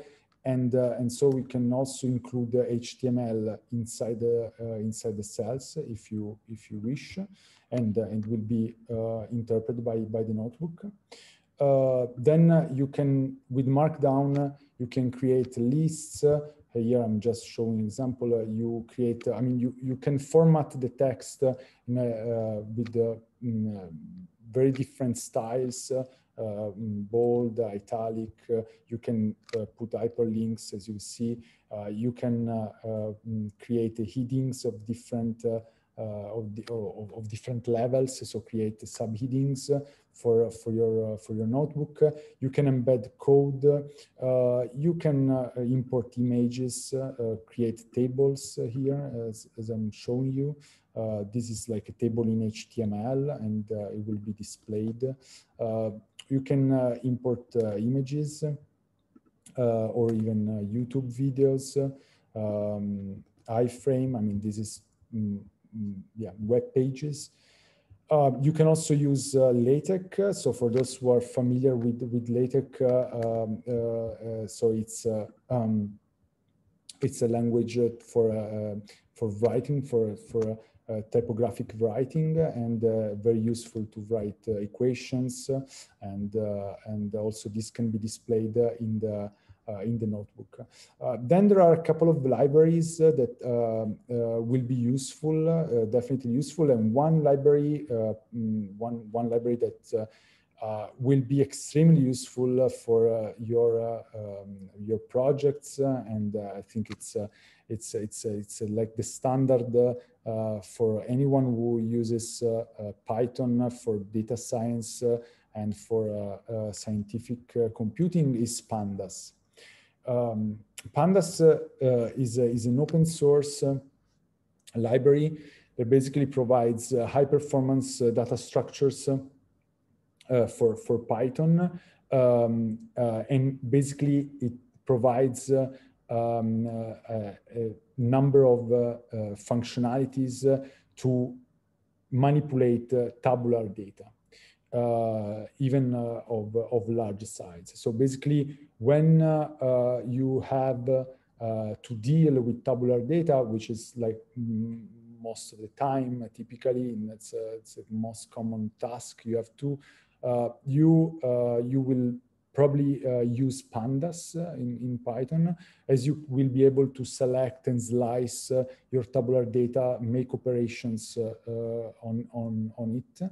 Uh, the pandas again is comes with the Anaconda distribution. So if you install Anaconda, you will have access to um, to, to, pandas. and again, the, this is a very, very commonly used uh, library. I mean, it's very popular. It's become a standard in uh, uh, for many applications. There are several uh, excellent tutorials uh, that, that you can uh, follow to, to know more about, about how to use pandas. one is the official one. I mean, actually, the, the, if, you, if, you, if you go to the documentation of the library, there is a very good pandas cookbook that actually Uh, gets you into the, the library uh, with, uh, with several uh, uh, lessons with mm, lots of details and examples. And I, I really recommend it. I think it, it's very well done. here I'm, I'm, I'm, showing you some some basic basic applications of uh, of pandas, just showing you uh, how, how this, uh, how it works. so typically we import pandas, the common way to import pandas into the namespace is by using PD as a as a uh, as a, a, variable name for for pandas. Um, and then, of course, we want to import data uh, into pandas, and uh, um, Okay, of course, there are several ways of doing that. One easy way is to read the data from uh, an external file, like a CSV file, uh, which is uh, uh the, the, most classic way. So, uh, uh, and, and, we will see, I mean, just to, to import a, a, comma separated value file into a, a, data frame, a, a tabular format. here I'm showing you an example that is slightly different. It basically is based on, uh, on a module that is called the Pandas uh, Data Reader that actually allows to automatically access data remotely uh, from a number of, of resources. Actually, this might be useful also for, for, the, for the project. So with Pandas Data Reader, uh, you uh, are able to basically download automatically uh, data from uh, a number of different official sources, typically uh, economic sources and the financial sources. For instance, Yahoo Finance that gives access to uh, Uh, the uh, stock market uh, uh in different uh, different countries, different stock markets, but also you will be able to access data from the World Bank, Eurostat, um, OECD. So these are more macroeconomic data sets that, that you will be able to access directly using uh, using this uh, uh, pandas data reader. Um, so here I import the pandas data reader as PDR uh, to, for short. Um, and then one, one thing, for instance, that we can uh, uh, select, for instance, to, to, to, to analyze um, financial data. For instance, we can uh, get data from uh, uh, from the stock market using the function that is get data Yahoo that basically connects to the Yahoo Finance. Mm -hmm. So basically here you can see the um, Yahoo Finance uh, data.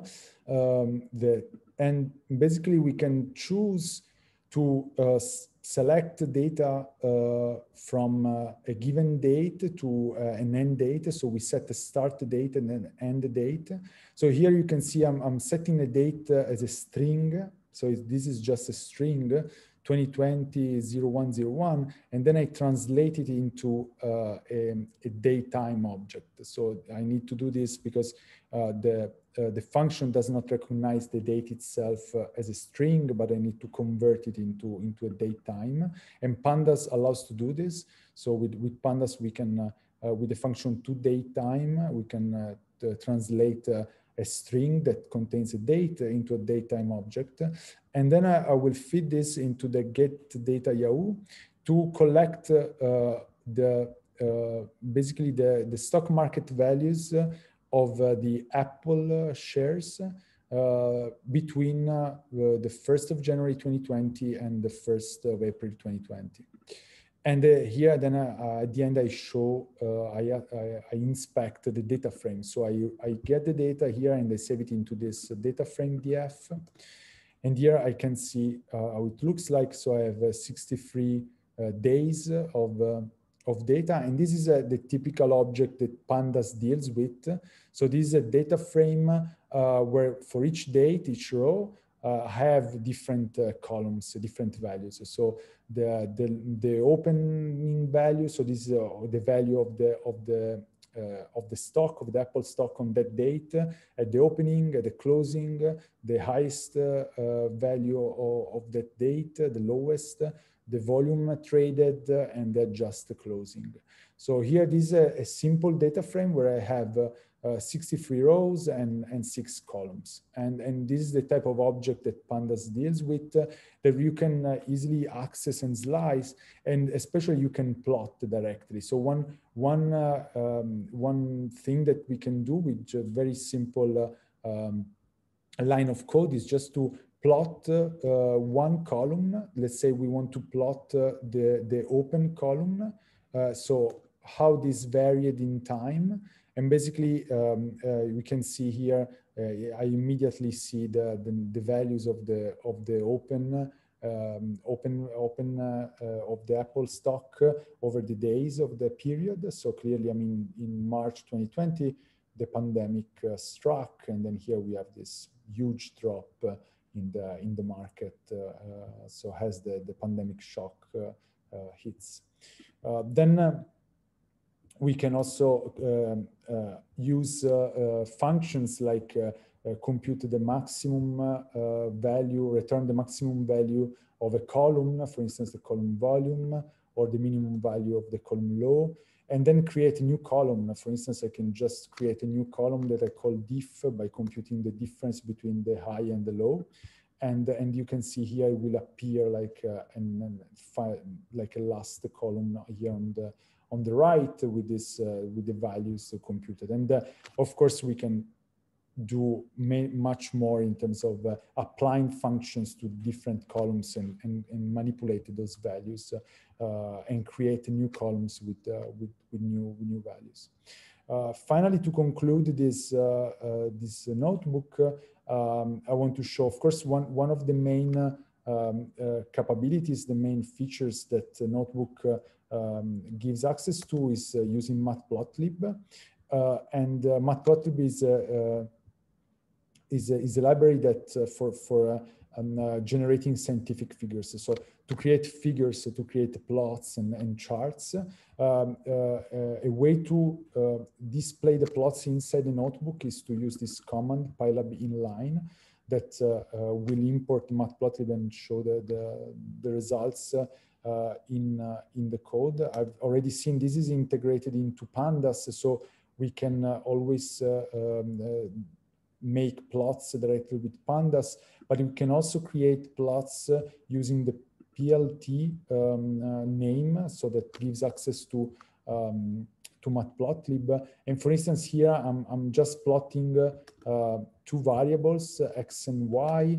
x uh, is an is a, is an array of, of, of points, so uh, between zero and five with space by um, uh, mm, by basically 10, 10 points line space between 0 and 5 and and the y variable is just the power of 2 of the x variable. And then I just want to show them plot them on on a plot. And here I, I can do it by just say setting a figure PLT figure uh, plot the function plot of matplotlib x and y and, uh, and red color and then setting labels for the axis and uh, and title for uh, uh, for this uh, uh, and the title for for this plot. Um, and last, the very last here, um, one one um, visualization library that is based on matplotlib and can be useful also to create a more sophisticated plots is uh, called Seaborn. Uh, actually, uh, it can be useful.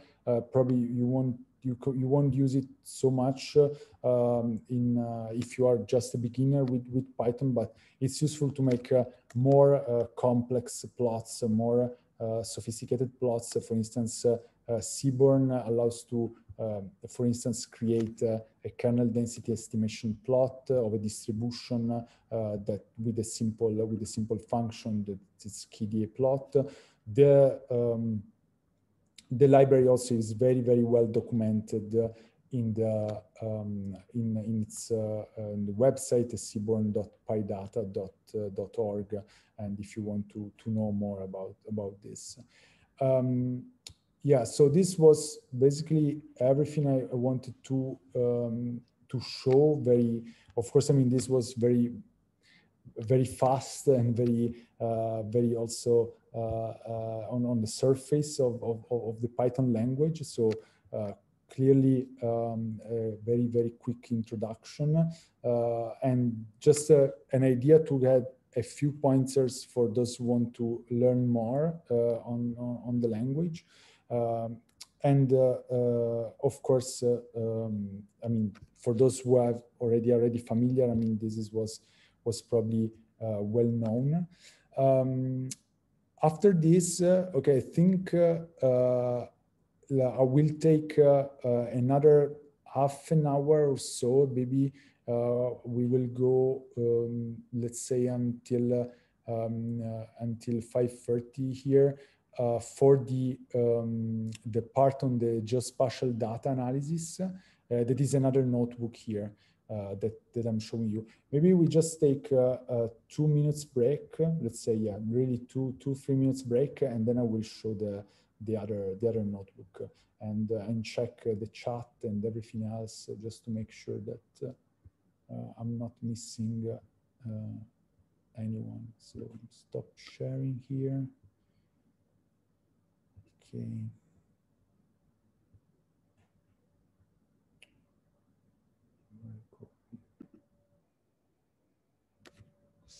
let's see the, the second notebook,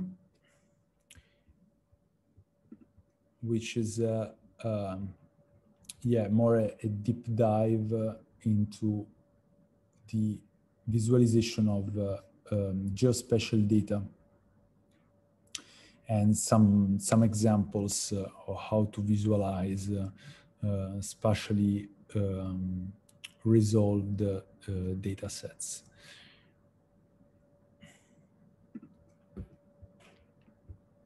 So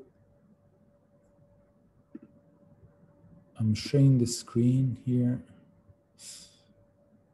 I think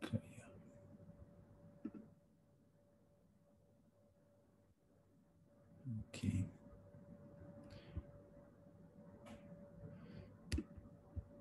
So I hope everyone can can see again the the notebook.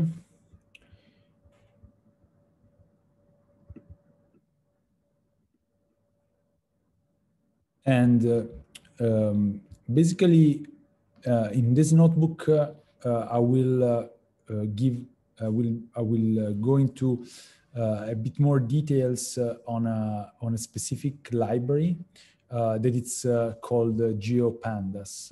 it's it's another Python library that is specifically um, devoted to the analysis of geospatial data and of, of, of, data that has some spatial structure. Now, uh, of course, I mean, GeoPandas, uh, as the name says, is, is basically an extension of, of Pandas. So uh, as Pandas allows to um, manipulate uh, tabular data uh, and, uh, and, and, and to mm, apply functions of different types to uh, data structure in, in tables. GeoPandas basically adds another layer to this, uh, to, to a tabular data by, by adding a layer of, uh, um, of, of, spatial information, basically. So it combines all the functionalities of, of Pandas uh, into uh, a geospatial uh, structure. And so it allows also to visualize the data on creating maps and and, uh, and objects that have uh, a spatial structure. Uh, here I'm using, so the notebook I'm showing you uh, is largely based uh, on, on, on, a notebook that was written uh, by Professor Rossano Schifanella at University of Turin. And here actually I'm linking a repository of, of, of, a course his uh, course is lecturing Rossano Schifanella is lecturing at the University of Turin uh, specifically on spatial data analysis. And in, in the repository, you will find uh, many more um, uh, notebooks uh, and examples uh, and also uh, slides of, of, the lectures on, on, the topic of, of geospatial analysis.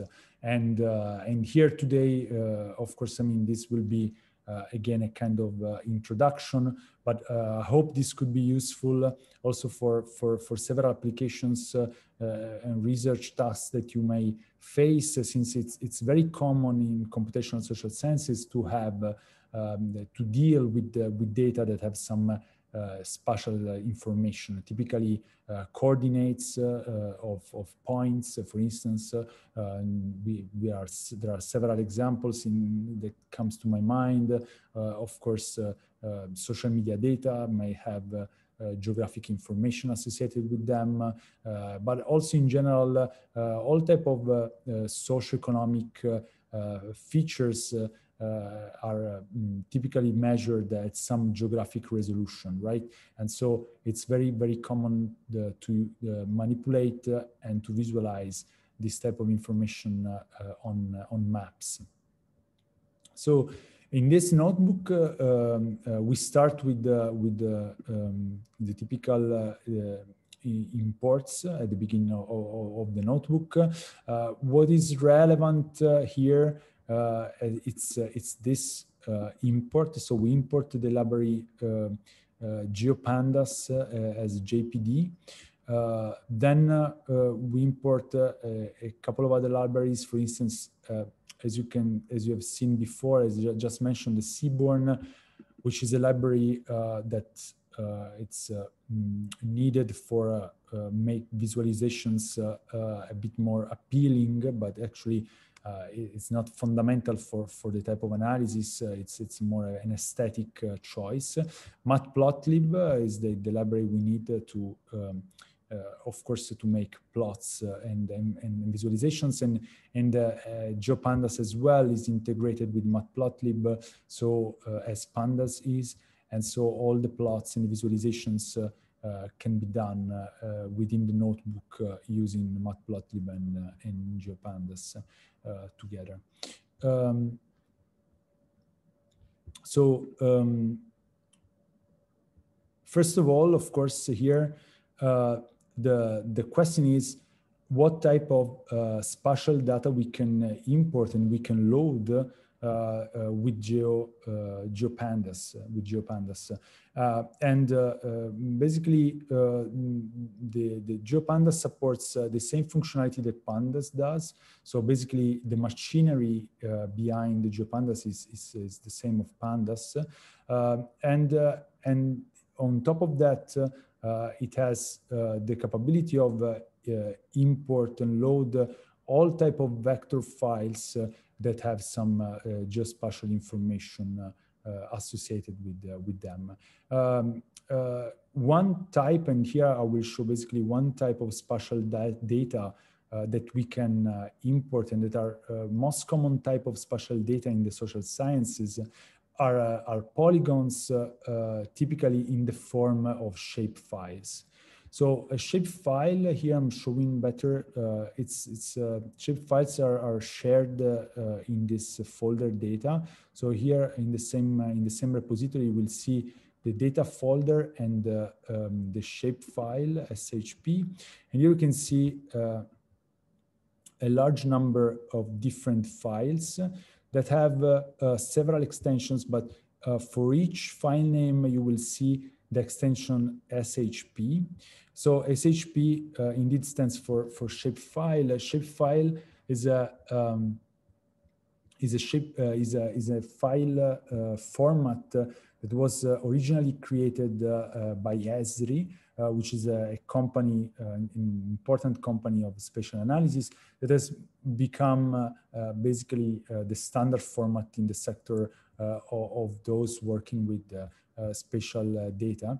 And uh, a shapefile actually is not only one single uh, file, the SHP, but actually is, a, is made by a collection of different files that together make uh, uh, a so-called shapefile. So here, for instance, the first one I'm, I'm showing you is the, this uh, uh, USA shape, which is made by, by six different files.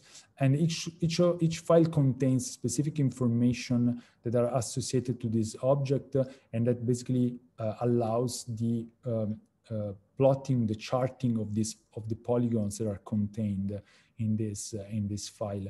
Um, the, the, the, the thing is that uh, uh, with GeoPandas, uh, you can read the shapefile just by basically providing the path to the SHP file. so here we will, um, we know that the, the data, sorry, this is the file is, is this one, data, sorry, yeah, loading here.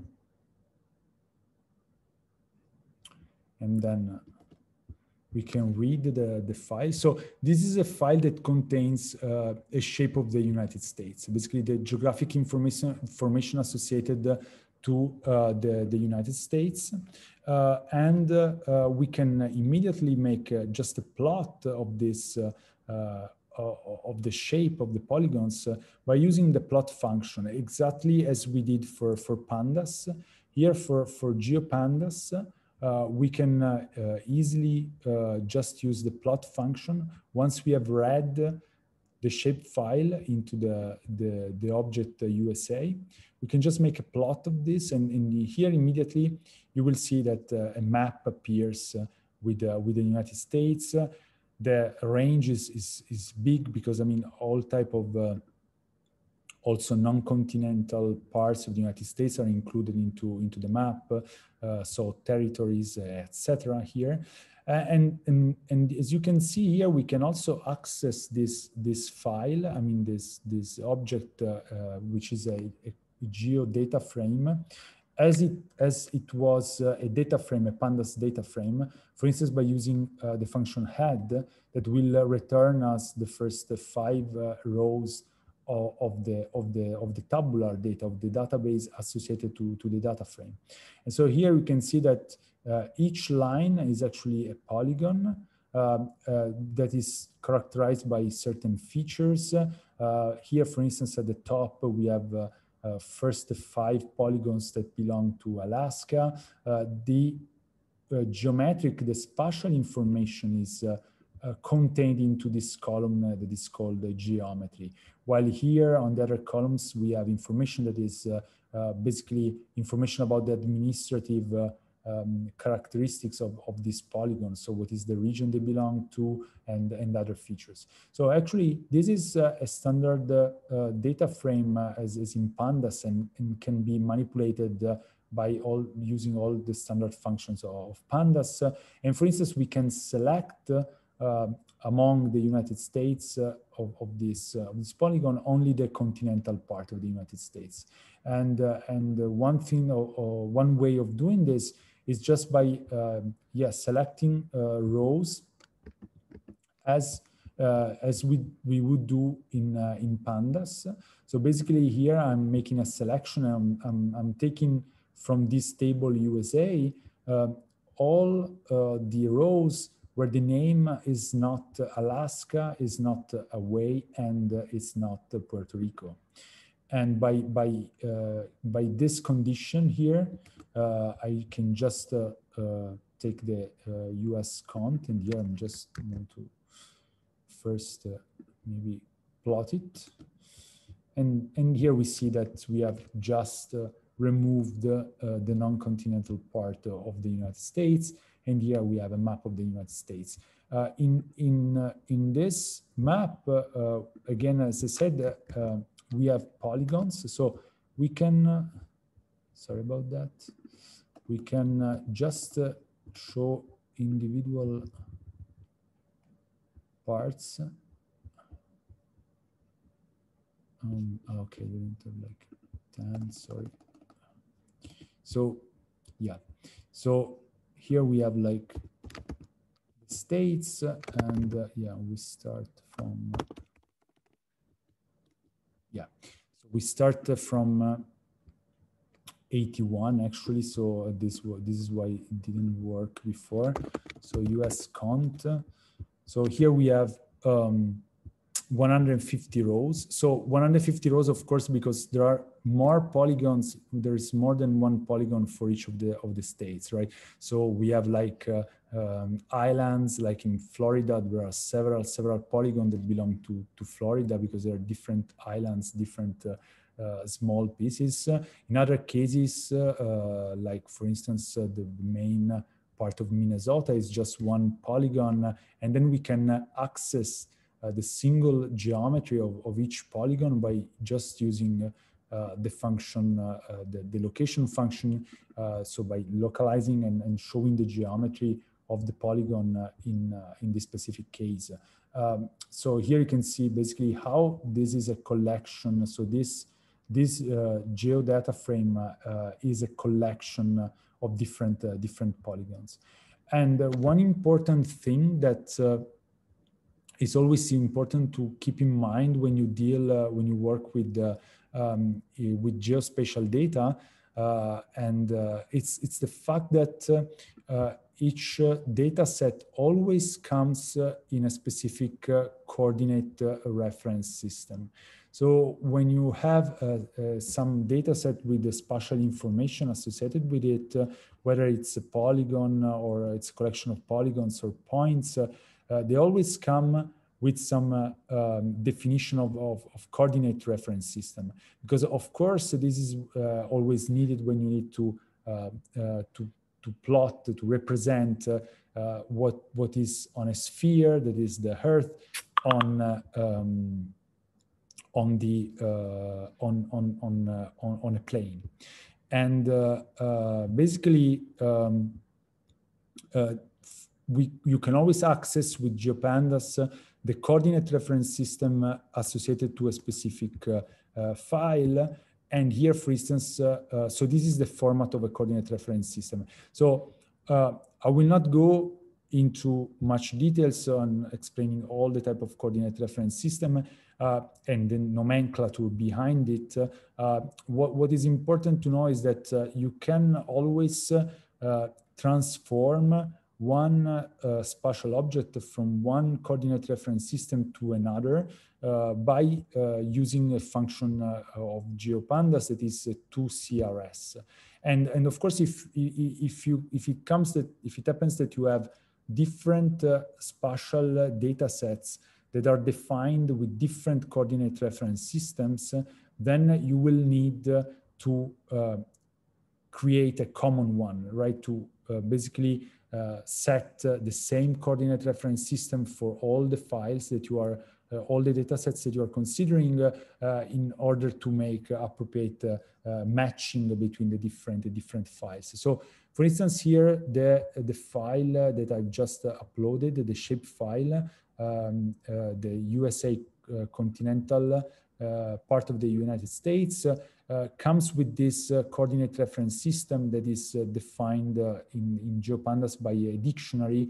The key is always the init, and then we have a code that is uh, called EPSG code. Uh, there is a, a, long definition of different reference systems. Uh, this one is the is the standard one. Um, is the Mercator coordinate reference system.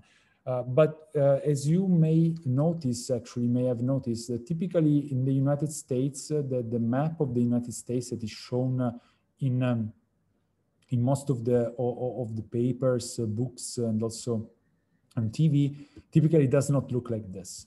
I mean, the, there, there is the, the, the, map of when, when you see maps of the United States in shown in, uh, in, uh, in, in books or papers, they have a, there is they have a different shape, and this is because the the, they use a different, uh, there is a different coordinate systems, reference systems, uh, and uh, um, which is this one, um, the, the so-called Albers conic area, where, and, and which is defined in, with this specific code that of course you need to, to look for if you want to use it. And then we can basically transform the, the shapefile uh, move it from one coordinate reference system to another.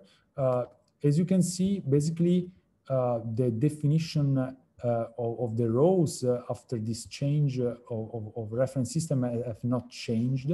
but what has changed is the geometry. So while here the geometry was defined with the, the usual latitude and longitude values, uh, here, the, the, the values have changed because we have, we have uh, changed the, the, the geometry of the reference systems uh, and we have moved into a, a, a, metric one. So basically, uh, here we can now plot it again, and here we recover, we find uh, the, the shape of the United States as they typically uh, look like when, when we when we see them on uh, on uh, on maps on, on books uh, with different coordinate reference system. And here you can see that the the values of latitude and longitude have been changed into numbers that actually represent a distance in in in miles. Um, we move then to another example uh, that is an example of London. Uh, so for London, uh, also there is several uh, shape files that are um, uh, uploaded, have been uploaded into the, the folder that I'm, I'm sharing with you. Uh, London is another example where there is a lot of lots of publicly available data of geospatial data that is this publicly available. typically, you can find shape files for uh, uh, all the regions of the world actually so uh, the the the common the format is is very very common if you look for shape files of different countries different administrative units, uh, uh, you will find a lot of resources uh, online. in the case of the UK and of London specifically, the, there are many of, of these resources, but I mean, this is also true Uh, for uh, for the rest of the world. There are databases uh, where you can find the shape files for all type of of applications with different resolution levels and uh, and of course i mean if you are looking for for your uh, for your projects uh, to for a specific shapefile and, and, you cannot find it just feel free to, to to get in touch and i can uh, maybe help you with some uh, directions here. Uh, here in this case, we are loading a shape file of, of the so-called MSOA of London, which are um, small administrative units uh, of, of, the London, of the city of London. Um, and, uh, and basically, again, uh, we can read the shape file just with the function read files and see uh, what is the um, the content of the of, of this uh, uh, sh shape file where basically each line corresponds to one MSOA and then we see that there are also several other uh, information uh, and feature associated to uh, to each administrative unit, and these are typical information that you can find in in the census data.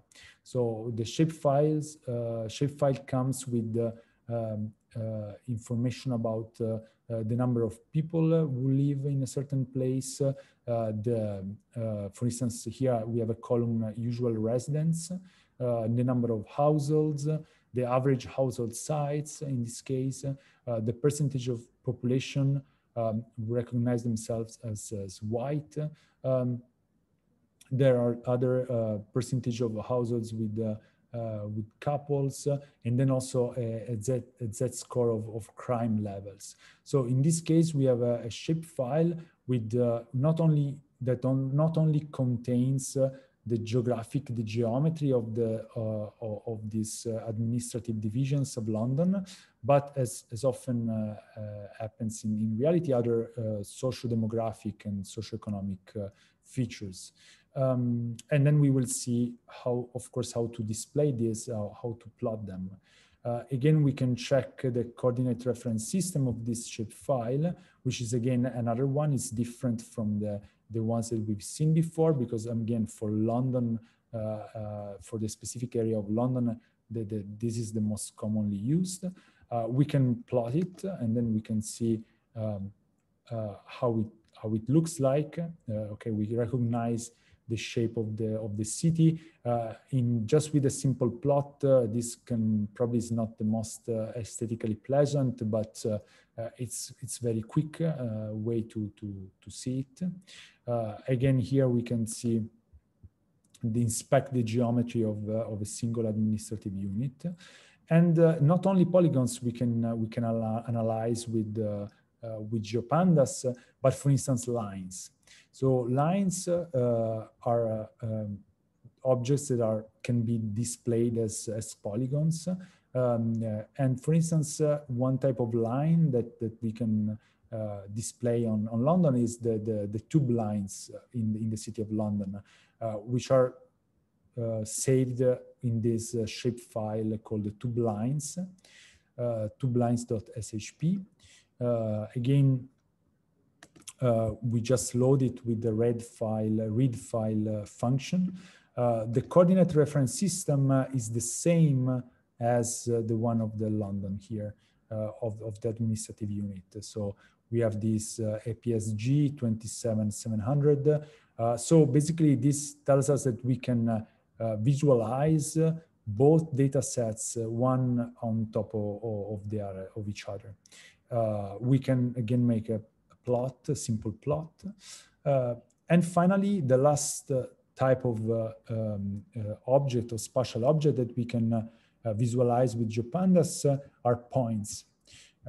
points uh, follow a similar structure again. Uh, and uh, we here in the in the folder have have put a shape file that is called um, OSM POIS London, which basically stands for points of interest uh, collected from uh, OpenStreetMap uh, in the city of London. So OpenStreetMap is a, is a very powerful resource for to collect the geospatial georeferenced information. Uh, and uh, there is a, a, public API to OpenStreetMap. It's a collaborative system uh, to map areas. And, and especially of interest is the fact that you can download automatically from the APIs, for instance, different points of interest. And here in this shapefile that we read here, there are basically all all types of points of interest uh, in the in the city. We we can just plot it. Uh, uh, the points of interest that are supported by by OpenStreetMap. Uh, you can see there is a blob of, of points. Uh, just to check here, you can see that the shape is a bit different because the coordinate reference system is not the same used in the other two. Uh, this comes from OpenStreetMap, but again, it's easy to to basically translate one to the other one by, by, by just using the function um, mm, to_crs and by uh, switching um, coordinate reference system. Uh, and then at this point, we can inspect the type of points of interest that uh, are present in the data set. Uh, here, maybe first we can take a look uh, at uh, what's inside the the object. So here, uh, the data frame here, you can see that basically we have an ID of the uh, of, of OpenStreetMap, a code for the point of interest, the type of point of interest. We have many, uh, the F class, the name of the point of interest and the geometry. The geometry will be uh, the exact location uh, in latitude and longitude, but now it's changed to the change uh, due to the change of the coordinate reference system. And here we can inspect a number of different types of, of point of interest. Uh, and there are unique uh, values for this F class. And you can see there are many from uh, pub, bicycle rental, hotel, laundry, courthouse, university, um, outdoor shop, computer shop. Uh, let's say we take uh, an interesting uh, uh type of point of interest, it is pubs. Uh, we can just select all those that are uh, pubs in our data set. there are a bit more than 2,000 pubs in, in, in, in, in London here, and we can just plot it again. and now what we can think is to create one plot, one single map that uh, uh, shows together all the different layers that we have uh, that we have inspected so far. So um, on this um, on this map, we'll first create a map showing the MSOAs, so the, the administrative units of, of Greater London. And to do so, we basically create with uh, with um, uh, matplotlib uh, this figure. So first we set up with this function, we set up the, the figure with the sides in inches of the figure. Uh, we say there is only here we state there is only one subplot so it's only one uh, one plot but we could also could make more than, than one if needed uh, and then we also set a dpi so a, a resolution level then we uh, remove the axis frames, so just to, to have a map here. And then uh, we plot the, uh, the administrative unit with the function plot uh, by adding a few more information like uh, the, the, the width of the, of, of the lines indicating the uh, separating the administrative units, the face color, the edge color. We also set alpha that provides a level of transparency. Then we set the title and then we, we show the, the map. And here, okay, I'm running it again. You see already the result here. And we have a nice map of all the uh, administrative unit of Greater London with, uh, with the title on top, uh, with, with a few lines of, of codes. Uh, if we want to add more layers, as I said, we would like to, to create uh, a visualization, a visualization that includes more, more layers. Uh, basically, what we need is just to plot one uh, shapefile, one uh, geodata frame, uh, one after the other one. So we just set up uh, the same type of figure here with uh, with the pyplot matplotlib subplots, again, we remove the frames and then we plot first the, the, the, administrative units. Then we plot the London tube in, in red with a different level of alpha, which is again a transparency. Alpha zero means completely transparent and alpha one means full, uh, full color. And then we plot the London pubs uh, uh, at, on top of everything in blue with the, with the marker size one. So this defines the level of, of the marker. Maybe we can make it a bit, bit bigger. And then we, we again, we, we set the title uh, for the plot here. And then here we see, and we can inspect the, the map. And here we have a map of Greater London where you can see the tube lines. And then we can also well notice that pubs tend to actually uh, align with the with the with the tube lines, right? So we can we can see uh, from uh, from the map that there is uh, a certain uh, uh, proximity between uh, between where pubs are located uh, and at least a certain tube lines of, of the of the Greater London area.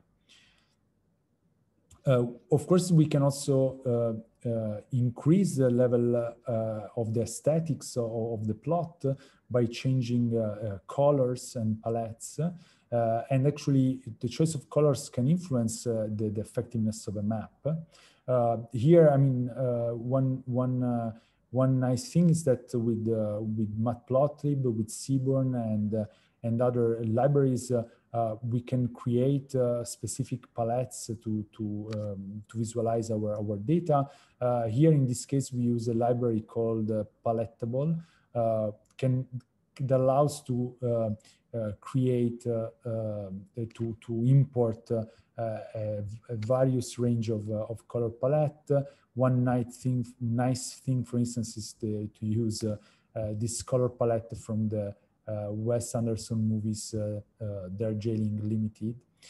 And, and now basically this palette is actually just a list of, of colors defined in, in their hexadecimal standards.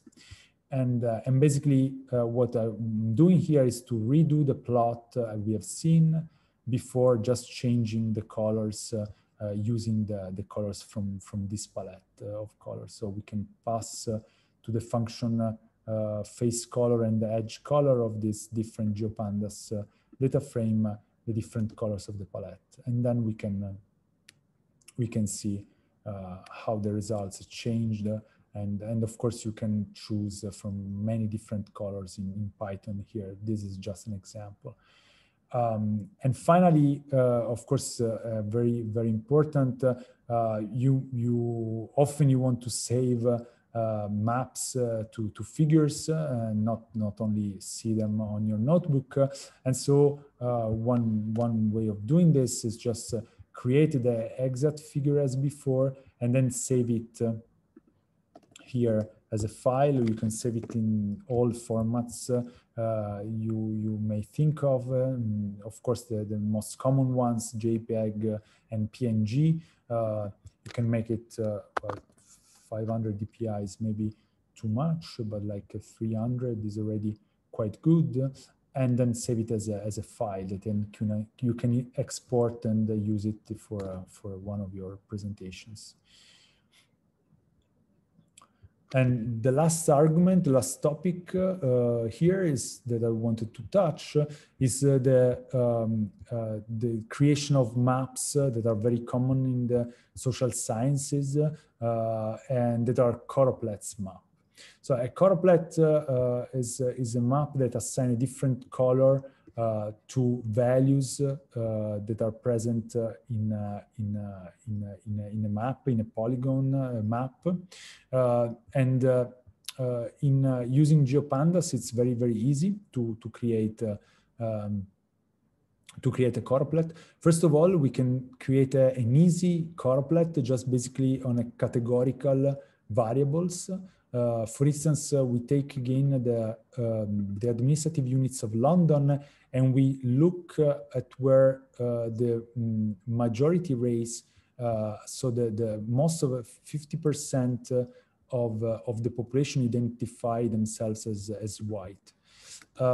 and, and basically, so here we have created this um, this new variable here that is either uh, white or other. So it's it's categorical clearly. So we have only two two values allowed, and uh, and here uh, we can just plot this by basically saying that we want to plot uh, the administrative units, again, the shapefile uh, the, of the MSOAs, uh, where we want to plot a specific column value, right? So if we pass the column value of the, of the GeoPandas, uh, of the geodata frame, um, we will see that, uh, um, and here, sorry, I will just, so,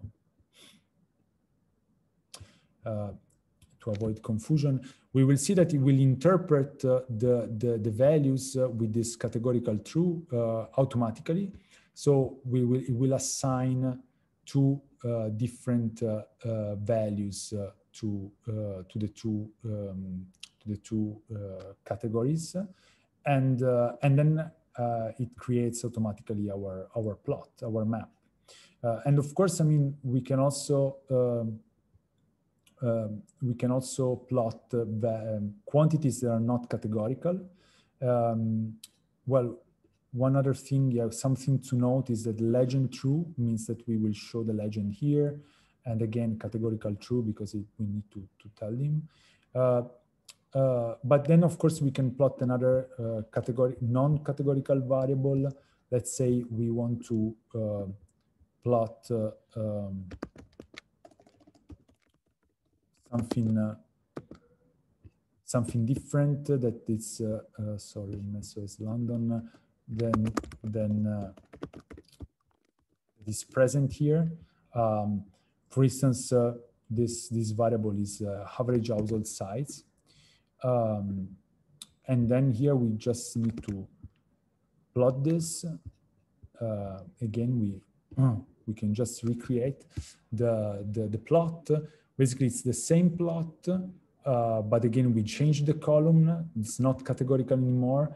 The household size varies from about 0.5 to almost 4. And here again, we can see how larger households tend to, to live in this area, while uh, uh, in the city, uh, in the very, very center of, of London, uh, the, the household size values, the average household size is the minimum. And, and so basically we have a, uh, a clear pattern of uh, uh, center to periphery difference in this in these quantities. So here again, we look at the, this part of the code. the, the, the figure is always defined in the same way. I remove the axis. I'm, I'm telling the, the plot function that is going to happen on, on take on, on the x-axis defined here. Uh, the column is this one. Uh, we have defined the edge of the of the, of the single polygons in white with a, a 0.1 line width. And the legend is true and legend true means that uh, we'll show this color bar here next to, uh, to the map. Okay, so I'm at the end of the also of this notebook. Um, I took uh, quite some more time than uh, maybe I expected, but I mean, I think uh, in the end we are we are uh, um, in time for for the rest of the to to conclude the the lecture. So I'm